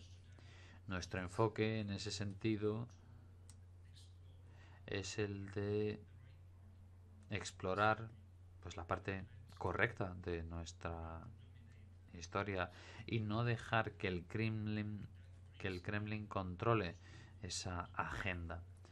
Esto me lleva a lo de tener nuestro propio relato positivo y además eh, impartir capacidades para que nuestras generaciones más jóvenes eh, entiendan bien la historia. Singapur, Corea del Sur, Taiwán siguen esa línea. Ellos han logrado crear su propio relato positivo frente a la desinformación china. Los jóvenes de estos países están muy formados en lo que respecta a contar bien la historia y a difundir este relato narrativo positivo también a nivel tecnológico. Sobre los fondos rápidos. Gracias por la pregunta, antes de nada. Todos los estudios y análisis que reciban apoyo de estos fondos rápidos tienen que estar orientados al futuro. Tienen que explorar vulnerabilidades emergentes aplicando los métodos de la analítica predictiva. Para ello necesitamos ciclos muy cortos de toma de decisiones para esos fondos y también lograr resultados de investigación. Hasta dos meses para el proceso de solicitud y un máximo de cinco o seis meses para llevar a cabo los análisis y la investigación real con miras a ser competitivos en esa carrera. Porque lamentablemente somos competidores en una carrera tecnológica y tenemos que adelantar a los adversarios en la desinformación. Por último, pero no por ello menos importante, quería contar mi experiencia personal a la hora de lidiar con los grupos eh, vulnerables en mi sociedad aquí en Estonia, los rusófonos o rusohablantes nuestro éxito, limitado, pero aún así éxito, se ha logrado gracias a las actividades continuas realizadas durante 10 años. Hemos prestado suficiente atención desde el lado del gobierno y también hemos logrado que este grupo de la población se implique y participe en varias actividades eh, sociales. Lo que ha ayudado mucho, yo creo, ha sido no sobrepolitizar ni sobre asegurar eh, la lengua rusa. Hay que ver las cosas de forma muy distinta. Muchísimas gracias. Merci beaucoup. Muchas gracias a los dos invitados. Gracias, señor Teperik y señor Deloitte, por sus eh, presentaciones y por su disponibilidad. Quiero también agradecer la paciencia de nuestro próximo invitado, Jenny Rota que lleva ya un tiempo esperando. Le vamos a dar la palabra enseguida. Usted es el director del Centro de Investigación Luis Data Lab. También es profesor en la Universidad de Princeton, periodista internacionalmente conocido que escribe a menudo en La Estampa. Usted ha sido miembro del grupo de alto nivel creado por la Comisión Europea sobre la desinformación y noticias falsas que ha contribuido al primer plan de acción contra la desinformación de la Unión Europea. Como miembro del Foro de Desinformación en línea, ha pedido medidas más estrictas eh, contra las operaciones de desinformación en plataformas, sobre todo con el tema de la pandemia de la COVID-19. Señor Riota, estamos contentísimos de tenerle hoy con nosotros y ahora queremos escucharle y disculpas de nuevo por el pequeño retraso que hemos acumulado. Tiene usted la palabra 10 minutos, señor Riota.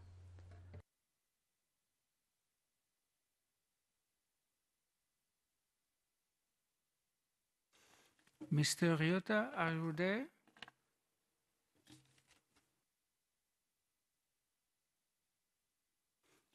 Please press the speak button.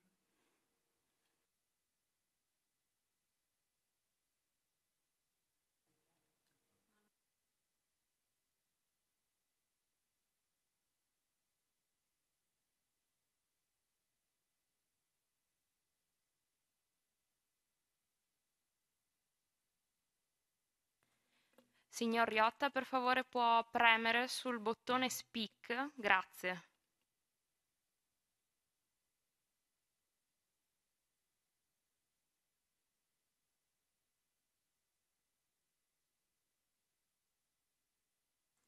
Signor Riotta, la vediamo connesso. Se può premere una volta, per favore, sul bottone speak in basso sul suo schermo.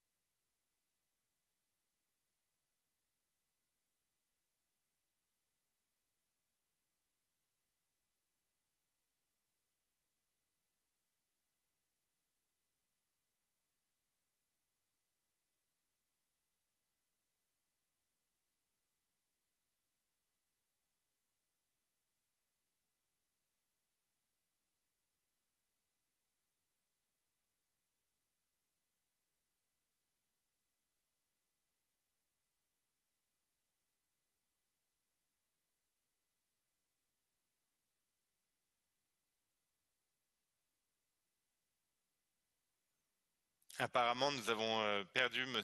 Bueno, parece que hemos perdido al señor Riota, que estaba conectado hace 10 minutos. Estamos intentando establecer una conexión con él. Me dice la secretaría, el servicio técnico, que se va a hacer enseguida. No se vayan, en un momento vamos a poder escuchar al señor Riota. Un poco de paciencia, pide el presidente. Gracias.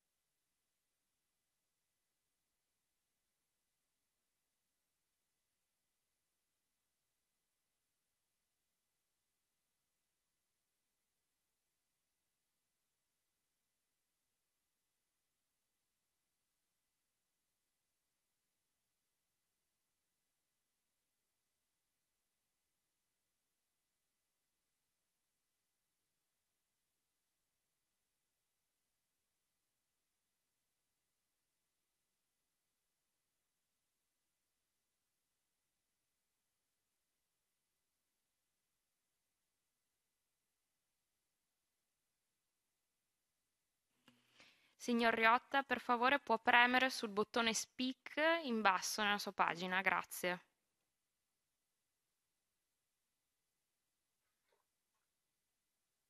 Ok. Perfetto, grazie mille, può parlare. Tienes la palabra. Gracias. Pido disculpas. Me desconecté.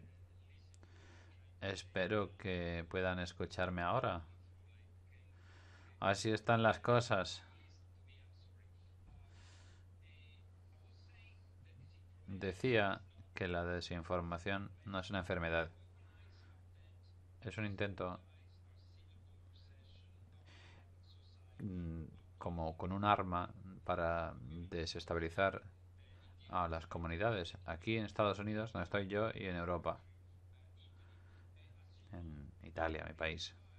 En una lucha de guerrillas, los ejércitos regulares han tenido muchos problemas para derrotar este tipo de enemigos, de guerrillas, porque para un ejército regular lleva mucho tiempo cambiar su propia tradición, sus propias normas y su propia estrategia.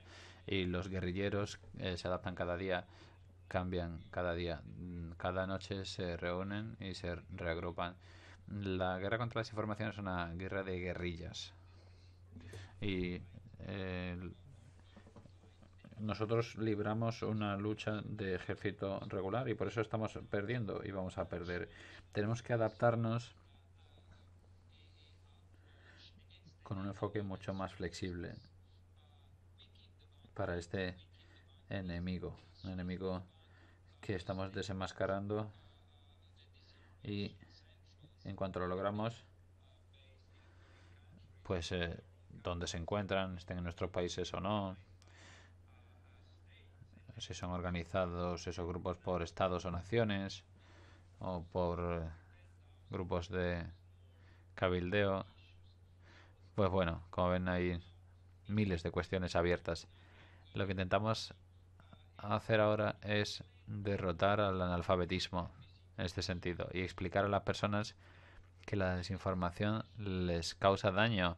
No es que solo sea errónea la desinformación, que no sea cierta. Claro que es errónea, claro que no es verdad la desinformación, pero vean las eh, elecciones del martes de la semana pasada en los Estados Unidos. Hay que ver lo que es erróneo o no cierto para nosotros, porque eso es eh, correcto y verdad para millones de personas. Hay que dar hechos a las eh, personas, no solo decir créannos, crean a los científicos, a las autoridades, a los académicos. Tenemos que presentarles pruebas yo quería compartir unas noticias que me han afectado mucho en todos estos años que llevo luchando con la Unión Europea contra la desinformación. Querido Rafael, en Estados Unidos las personas que ven o siguen en televisión los canales de noticias que le quitan importancia o que no creen en la pandemia de la COVID están muriendo, se están enfermando a niveles superiores a aquellas personas que ven o que siguen redes que proporcionan un periodismo justo, equilibrado y de calidad. La desinformación, amigos, mata, literalmente. Hay miles, miles de personas que se contagiaron de COVID, muchas murieron, simplemente porque no estaban suficientemente informadas sobre la COVID o porque estaban desinformadas sobre la COVID. Les voy a contar en qué estamos trabajando ahora con el laboratorio Luis Data Lab y con mis colegas e investigadores en Roma y en Nueva York. A saber,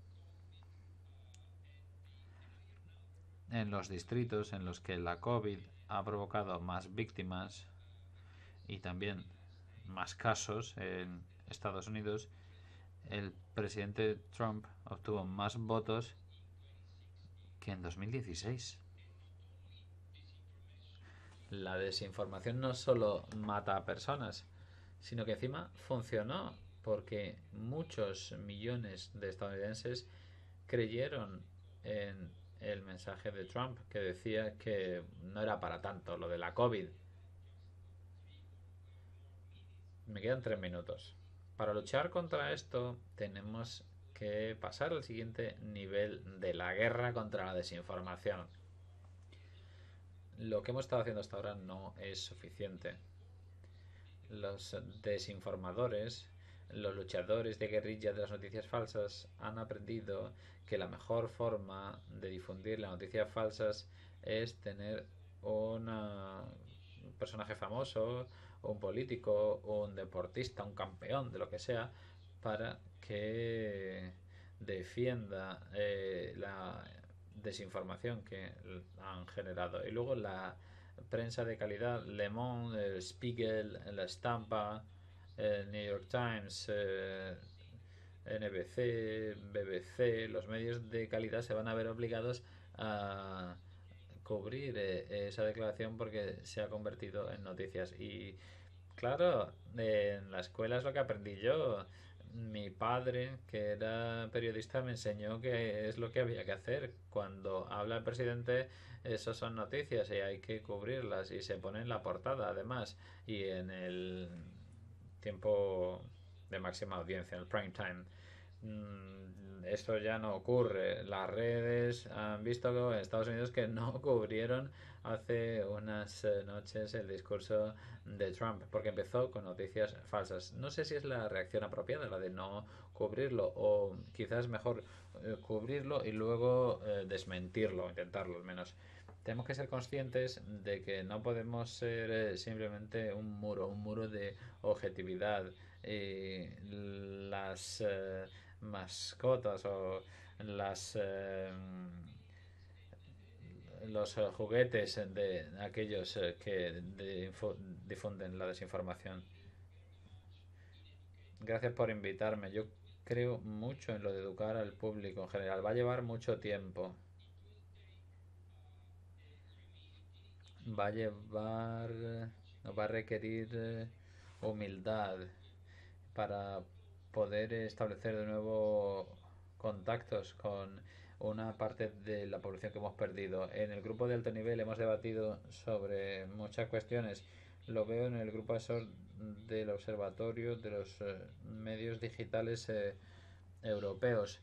¿Debería la Unión Europea apoyar a los periodistas profesionales? Es un tema complicado porque si se apoya a los agricultores, y saben ustedes que una gran parte de nuestro presupuesto va a los agricultores, o si se apoya la industria pesquera, o música, teatro, cine europeo, pues todo esto es mucho menos controvertido como inversión. Si uno apoya a los periodistas, la gente dice, miren, están dando dinero a la gente que está de acuerdo con ellos. Por tanto, la idea de en qué tenemos que trabajar si no queremos perder esa guerra de guerrillas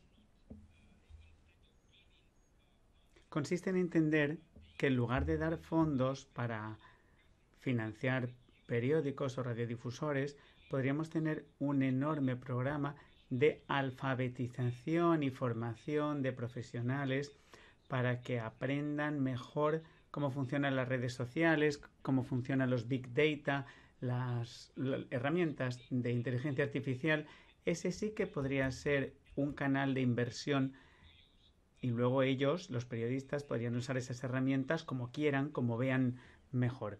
Eso es todo. Gracias por el honor de permitirme intervenir hoy. Les doy las gracias y aquí estoy para este pequeño debate con ustedes. Muchísimas gracias y por supuesto el honor es nuestro también. Ahora le voy a dar la palabra a los diputados que se han inscrito en la lista. Se trata de hacer preguntas breves, por favor, para que todo el mundo pueda intervenir y sobre todo el invitado. La señora Cañete, que es ponente de, la, de esta comisión parlamentaria en nombre del PPE. Adelante, señora Cañete. Gracias, presidente. Señor Gianni Rota, muchísimas gracias por su intervención y por el trabajo que hace usted. Los temas que usted plantea a través del, del grupo de alto nivel de la Comisión también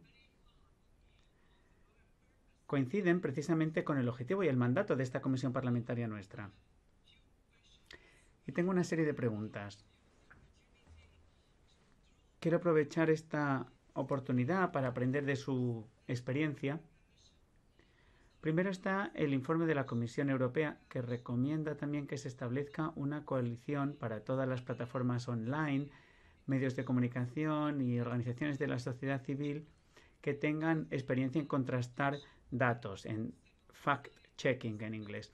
¿Piensa usted que se han ha aprovechado al máximo las posibilidades de involucrar a la organización, organizaciones de la sociedad civil y si no, ¿qué se puede hacer para que las plataformas tecnológicas involucren a las organizaciones de la sociedad civil? Y otro tema. A menudo, cuando se ha contrastado una noticia y la noticia se, se cataloga como desinformación, aún así lleva mucho tiempo que las plataformas retiren ese contenido. ¿Qué piensa usted que se puede hacer desde el punto de vista técnico y desde el punto de vista normativo para resolver esos retrasos tan graves? Y luego una pregunta proactiva. Teniendo en cuenta el nuevo equilibrio político en Washington entre el Congreso y la Casa Blanca, ¿piensa usted que los responsables en Estados Unidos de toma de decisión política van a ser ahora más flexibles, van a estar más cerca de la posición de la Unión Europea de regular a las grandes empresas tecnológicas. ¿Cree que el gobierno de Estados Unidos va a ser más cercano a nosotros ahora? Gracias. En nombre de SID, el señor Mayorino. Tiene usted la palabra. Adelante.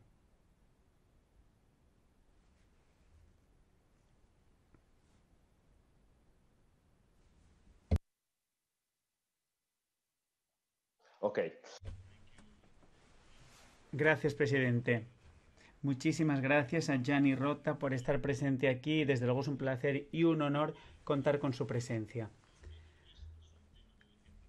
quería yo también que nos diera su punto de vista sobre las plataformas, señor Riota.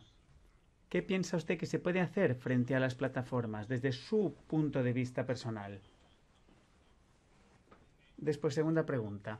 ¿Cómo podemos nosotros ayudar a la industria de la información a que desarrolle buenas prácticas, para que el sector tenga buenas prácticas y luchar contra la organización de campañas de desinformación que después se convierten en una verdadera injerencia, que es el tema del que nos ocupamos nosotros en esta comisión parlamentaria. Y tercera pregunta, y con eso de verdad acabo. Desde su punto de vista, con toda la experiencia que usted tiene, ¿Cuáles son los riesgos principales en su opinión? ¿Cuáles son las fuentes de las que vienen los mayores riesgos? Nos enfrentamos a actuaciones orquestadas por instituciones, por sociedad civil. ¿Cuál es su opinión sobre ese tema? Gracias. Gracias. Gracias a usted. En nombre del grupo Renew, la señora Loiseau. Tiene usted la palabra, adelante. Les oigo muy bien, espero que me hagan ustedes bien a mí también. Gracias, señor Riota, por su intervención. Hablaba usted de Estados Unidos, de la avalancha de bulos, pero eso no ocurre solo en Estados Unidos. Esta misma tarde, una cadena de información francesa, conocida por su tendencia de derecha, le ha preguntado a los telespectadores quién mentía más sobre las elecciones, si era Trump o los medios de comunicación. Y los telespectadores han dicho que en un 26% los medios de comunicación, 50 y tantos por ciento ambos, se entrecorta la conexión de la señora Loiseau. En fin, que nos preguntamos por qué algunos medios de comunicación divulgan desinformación. Hablaba usted de educar al público. Evidentemente esa es la respuesta más razonable y más inteligente. Es lo que queremos hacer nosotros, pero yo no estoy convencida de que un público adulto tenga ganas de que le digan necesita usted que le eduquemos. Y además tampoco estoy segura de que eso vaya a funcionar. Nos puede dar más detalles porque usted empezó a decir algo sobre la formación de los periodistas y debo decirle que la verdad es que me impresiona ver que cada vez más hay periodistas profesionales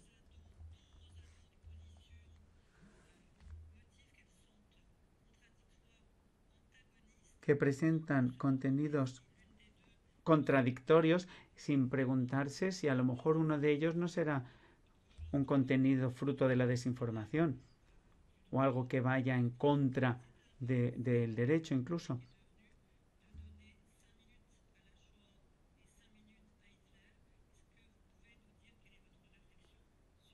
Da la sensación de que hoy en día las informaciones vienen y van. El intérprete se disculpa, pero la conexión se entrecortaba mucho y ahora hemos perdido varios datos. El señor Dreosto, del grupo ID. Adelante. Gracias, presidente. Muchísimas gracias por mi parte también al señor Riota por su intervención. Debo decir que ha habido varios momentos de contraste entre mi partido y el señor Riota, pero en temas importantes como la lucha contra la desinformación, sobre todo de potencias extranjeras, hay que cooperar, aunque hayamos tenido nuestros malentendidos en el pasado. Primero, en Estados Unidos, donde usted trabaja, le da la sensación de que aumenta la propaganda de Pekín, la propaganda china, algo que lógicamente preocupa mucho actualmente a los estados europeos. Quiero recordar concretamente que el COPASIT lanzó la alarma en distintos sectores en Italia al respecto. Y esa influencia se nota también en el sector de los medios de comunicación en Estados Unidos. Me gustaría que nos dijera qué piensa usted de la propaganda china. Gracias. La señora von Kramon Taubadel, en nombre de los verdes. Adelante, señora von Kramon Taubadel.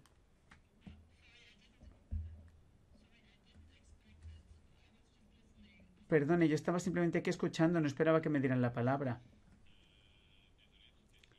Ah, pues no se preocupe, es que estaba en la lista que había recibido yo, pero no pasa nada. Pasamos entonces a la señora Melbard.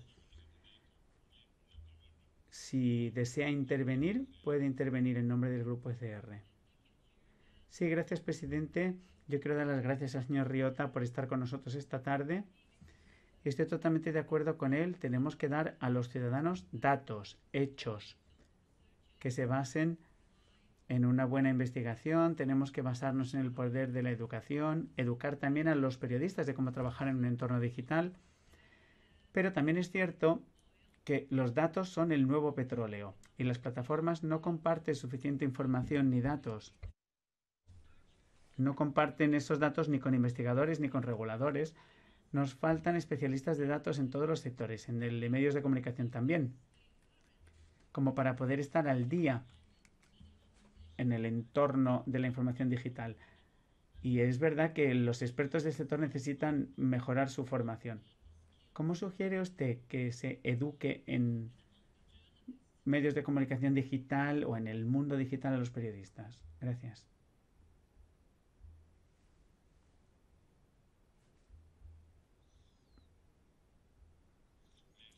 Gracias, señor Pineda, en nombre de la UE.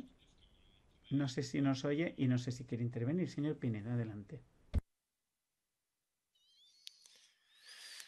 Alors, monsieur Lénard. No, entonces el señor Lenars, en nombre del PPE, coordinador del PPE, si está conectado y si quiere intervenir, tiene ahora la palabra.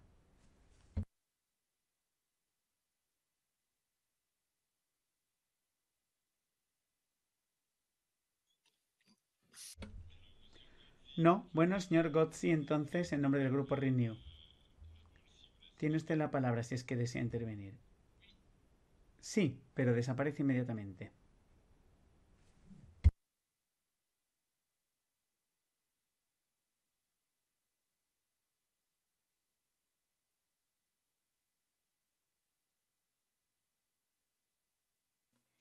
Signor Gozzi, Señor Gozzi. Me oyen ustedes ahora, ¿verdad? Sí, sí, le oímos, le oímos. ¿Empiezo otra vez? Sí, por favor. Sí, decía para empezar que muchísimas gracias a Gianni Riotta. Gracias tanto por la intervención de esta tarde como por la labor excelente que está realizando tanto en Italia como en Estados Unidos. Yo tengo dos comentarios. Para empezar, por su experiencia,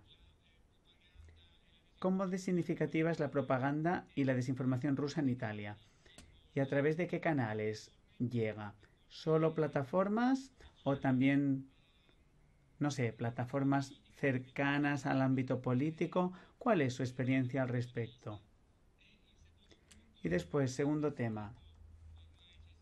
Hablaba usted de una decisión de los grandes radiodifusores de Estados Unidos, que es no transmitir las imágenes de Donald Trump. Todos conocemos el tema y yo además estoy de acuerdo, pero me gustaría preguntarle al experto que es Gianni Riota cuáles pueden ser los criterios que los medios de comunicación y las plataformas deben seguir para decidir si transmitir o no el contenido de una persona que al fin y al cabo seguía siendo el presidente de su país. ¿Es un precedente peligroso, le parece a usted? Y si hay que avanzar por esta vía, ¿cuáles son los parámetros y cuál es la educación que tenemos que preparar? Y me refiero a educar al público para que esté preparado para algunas decisiones de esos grandes radiodifusores. Gracias. PPE, Señor Vilchik, en nombre del PP. Tiene usted la palabra si desea intervenir, señor Vilchik.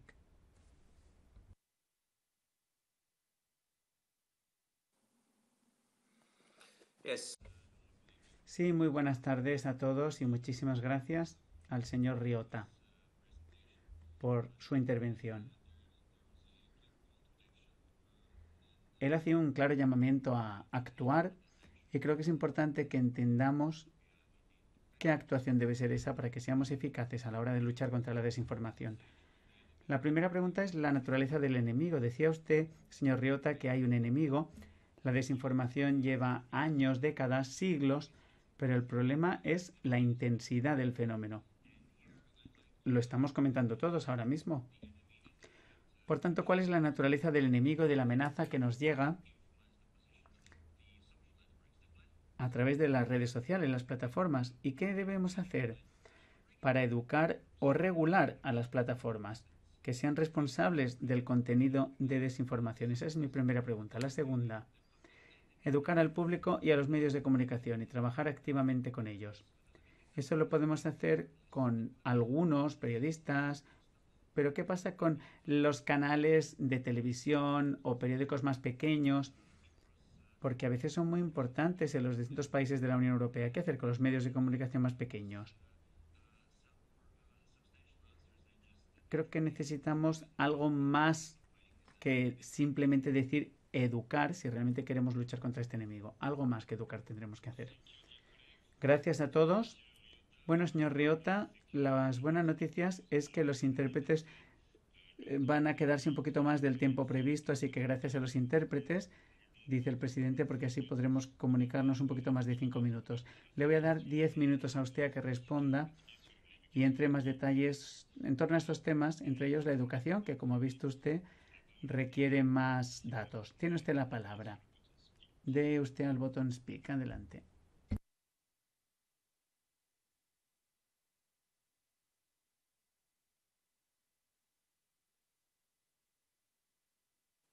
Mr. Ryota, are you there? Can you please press the speak button? Yes. Uh, okay. Sí, me oyen ustedes, ¿verdad? Supongo que me oyen, sí. Decía, presidente, que espero que me den no 10 minutos, sino 10 horas porque la cantidad y calidad de preguntas que me han planteado, y muchas gracias por cierto, ha sido enorme. Así que va a ser muy difícil para mí responder en 10 minutos, pero lo voy a intentar. Voy a intentar responder a todas, aunque sea brevemente. Como decía usted, estamos perdiendo la guerra contra la desinformación, no la estamos ganando. Y estoy de acuerdo en que tenemos que ser mucho más humildes el último orador que ha intervenido preguntaba quién es el enemigo. Hay que decidir además qué es lo correcto o lo incorrecto. Ese es el problema precisamente. La lucha contra la desinformación es una lucha entre datos, hechos, por un lado, y la desinformación, la distorsión de esos datos, esos hechos. Y los desinformadores normalmente nos dicen que esta es en realidad una lucha entre mi opinión y la opinión de ellos. Pero no es cierto, eso no es así. Y yo tampoco les voy a aburrir con un debate filosófico. Pero Aristóteles, que era ciudadano europeo, dijo en su libro Metafísica que lo que contradice los hechos es falso y lo que confirme los hechos es correcto. Es una definición muy buena, muy exacta. Es de Aristóteles, pero sigue estando muy en vigor. El problema es cómo llevamos eso a la práctica. Así que para empezar, yo estoy de acuerdo con todos los que han intervenido y sugerían que tenemos que ser humildes. Para un periodista, ser humilde no, en fin, no es fácil, no es una virtud fácil de aprender, desde luego para mí no. Pero yo a pesar de mi edad estoy haciendo todo lo posible para ser más humilde cada día.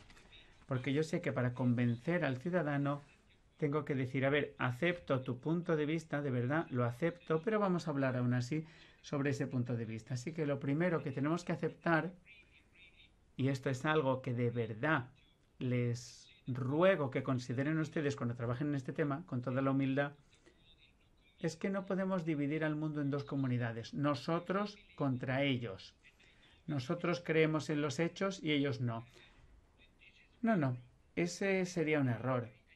Yo todos los días recibo un correo electrónico de un padre que dice, Señor profesor, mi mujer no quiere vacunarse, o no quiere vacunar a mi hija, mejor dicho porque mi mujer se cree alguna bobada que ha leído en internet. ¿Qué hago? O alguna madre que me escribe y me dice, ¿cree usted que sigue siendo importante llevar una mascarilla? Porque mi marido dice que no. En fin, esos son los eslabones más débiles en la cadena.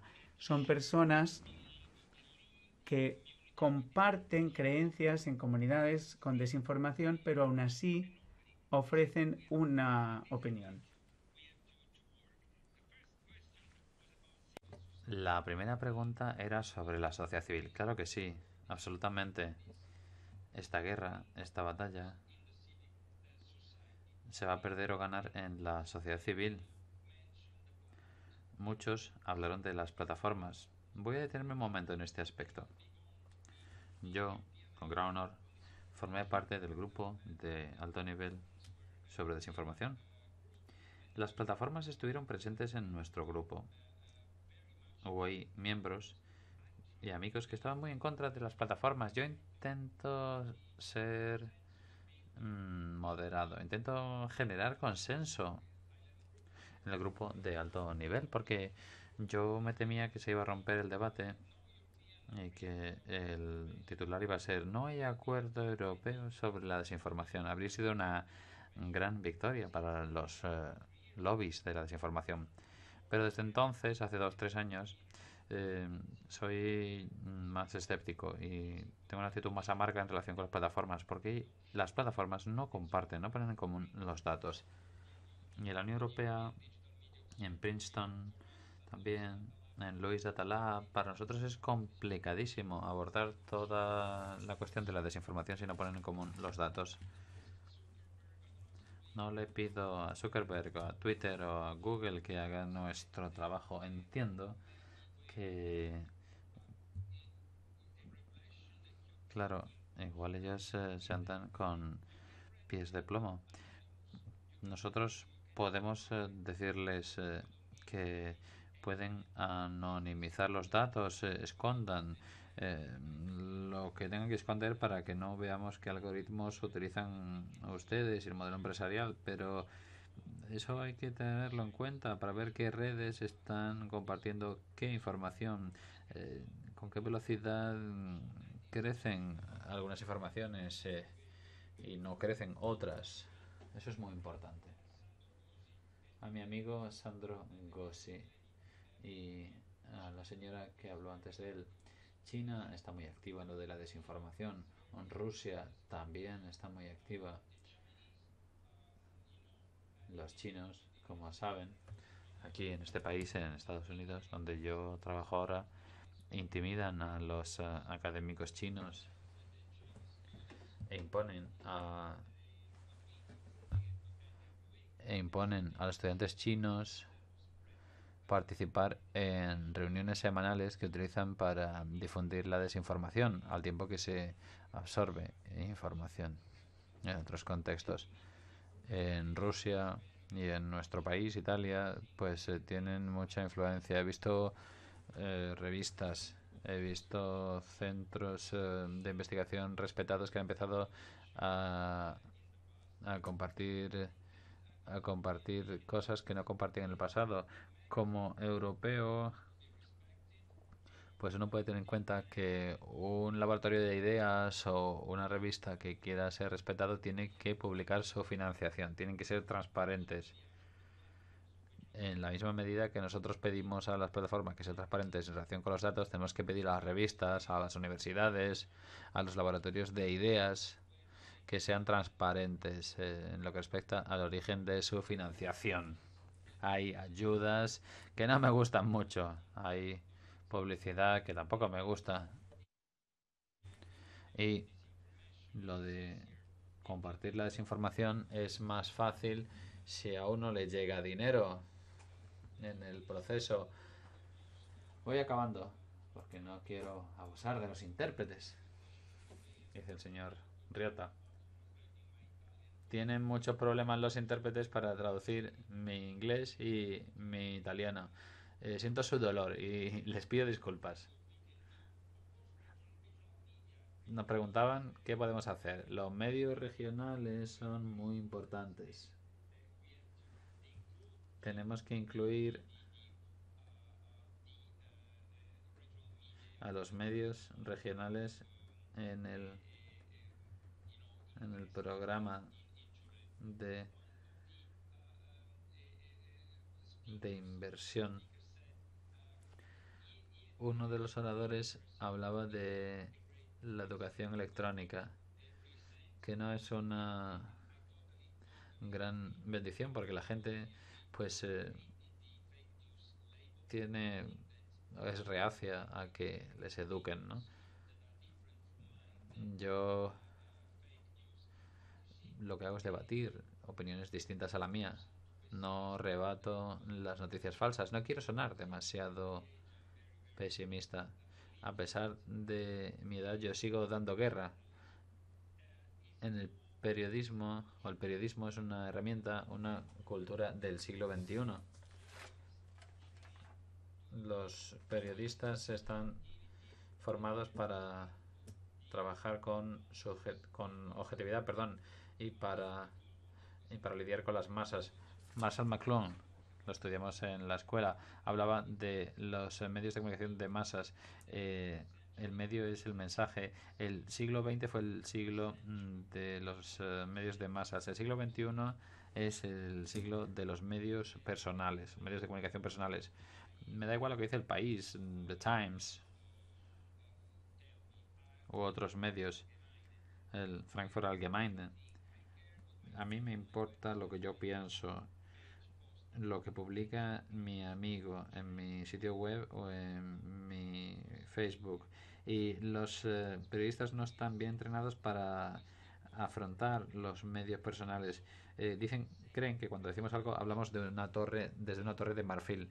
Cuando hablo de reformar, reeducar a los periodistas, mi idea, al menos lo que intentamos hacer en la escuela de periodismo en Roma, es la de reconstruir una cultura de información que sea más justa, que pueda hablar con personas individuales, concretas, no con masas, los catolistas, los católicos, perdón, los eh, protestantes, eh, la clase trabajadora, eso era del siglo pasado. Este siglo tenemos que hablar con cada una de las personas. Tenemos que debatir con cada persona de forma específica. Y tenemos buenas noticias, quiero dejarles con buenas noticias hoy los medios sociales... Bueno, alguien decía que el enemigo está en nuestro bolsillo. Es muy cierto. Los medios sociales que hacen que los centros de desinformación sean tan eficaces nos permitan también nos permiten también contrarrestarlos. O ustedes están en el Parlamento Europeo.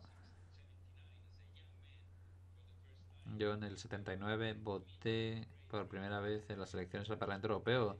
Para mí fue una gran emoción, un día que no olvidaré nunca, el día que pude votar por primera vez para el Parlamento Europeo. Y La lucha contra la desinformación no significa que estemos luchando para que mi opinión o su opinión prevalezca. Yo escucho los debates a menudo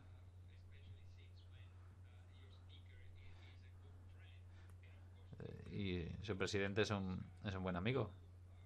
Su debate, su lucha, pues eso es la democracia. Tenemos que decirle a la gente que estamos defendiendo sus derechos, su derecho a debatir, su derecho a tener razón o a equivocarse.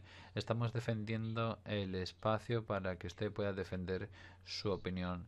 Estamos luchando contra las personas que envenenan nuestra democracia, que inyectan pruebas falsas en el debate libre de la democracia. El antiguo senador de Estados Unidos, David Patrick Mohimian, dijo que cada uno de nosotros tiene derecho a su opinión. No tenemos derecho a nuestros propios hechos, sino a nuestra opinión. Mi lucha es la de restablecer el, la centralidad de la importancia de los hechos, los datos corroborados. Y luego tengamos un debate con mucho ruido sobre todos esos datos y hechos. Pero si alguien eh, envenena los hechos, no vamos a ningún sitio. Es como tener eh, dinero. Se puede luchar sobre cómo utilizar el dinero, pero si nos llega un dinero falsificado, pues todos eh, seremos pobres.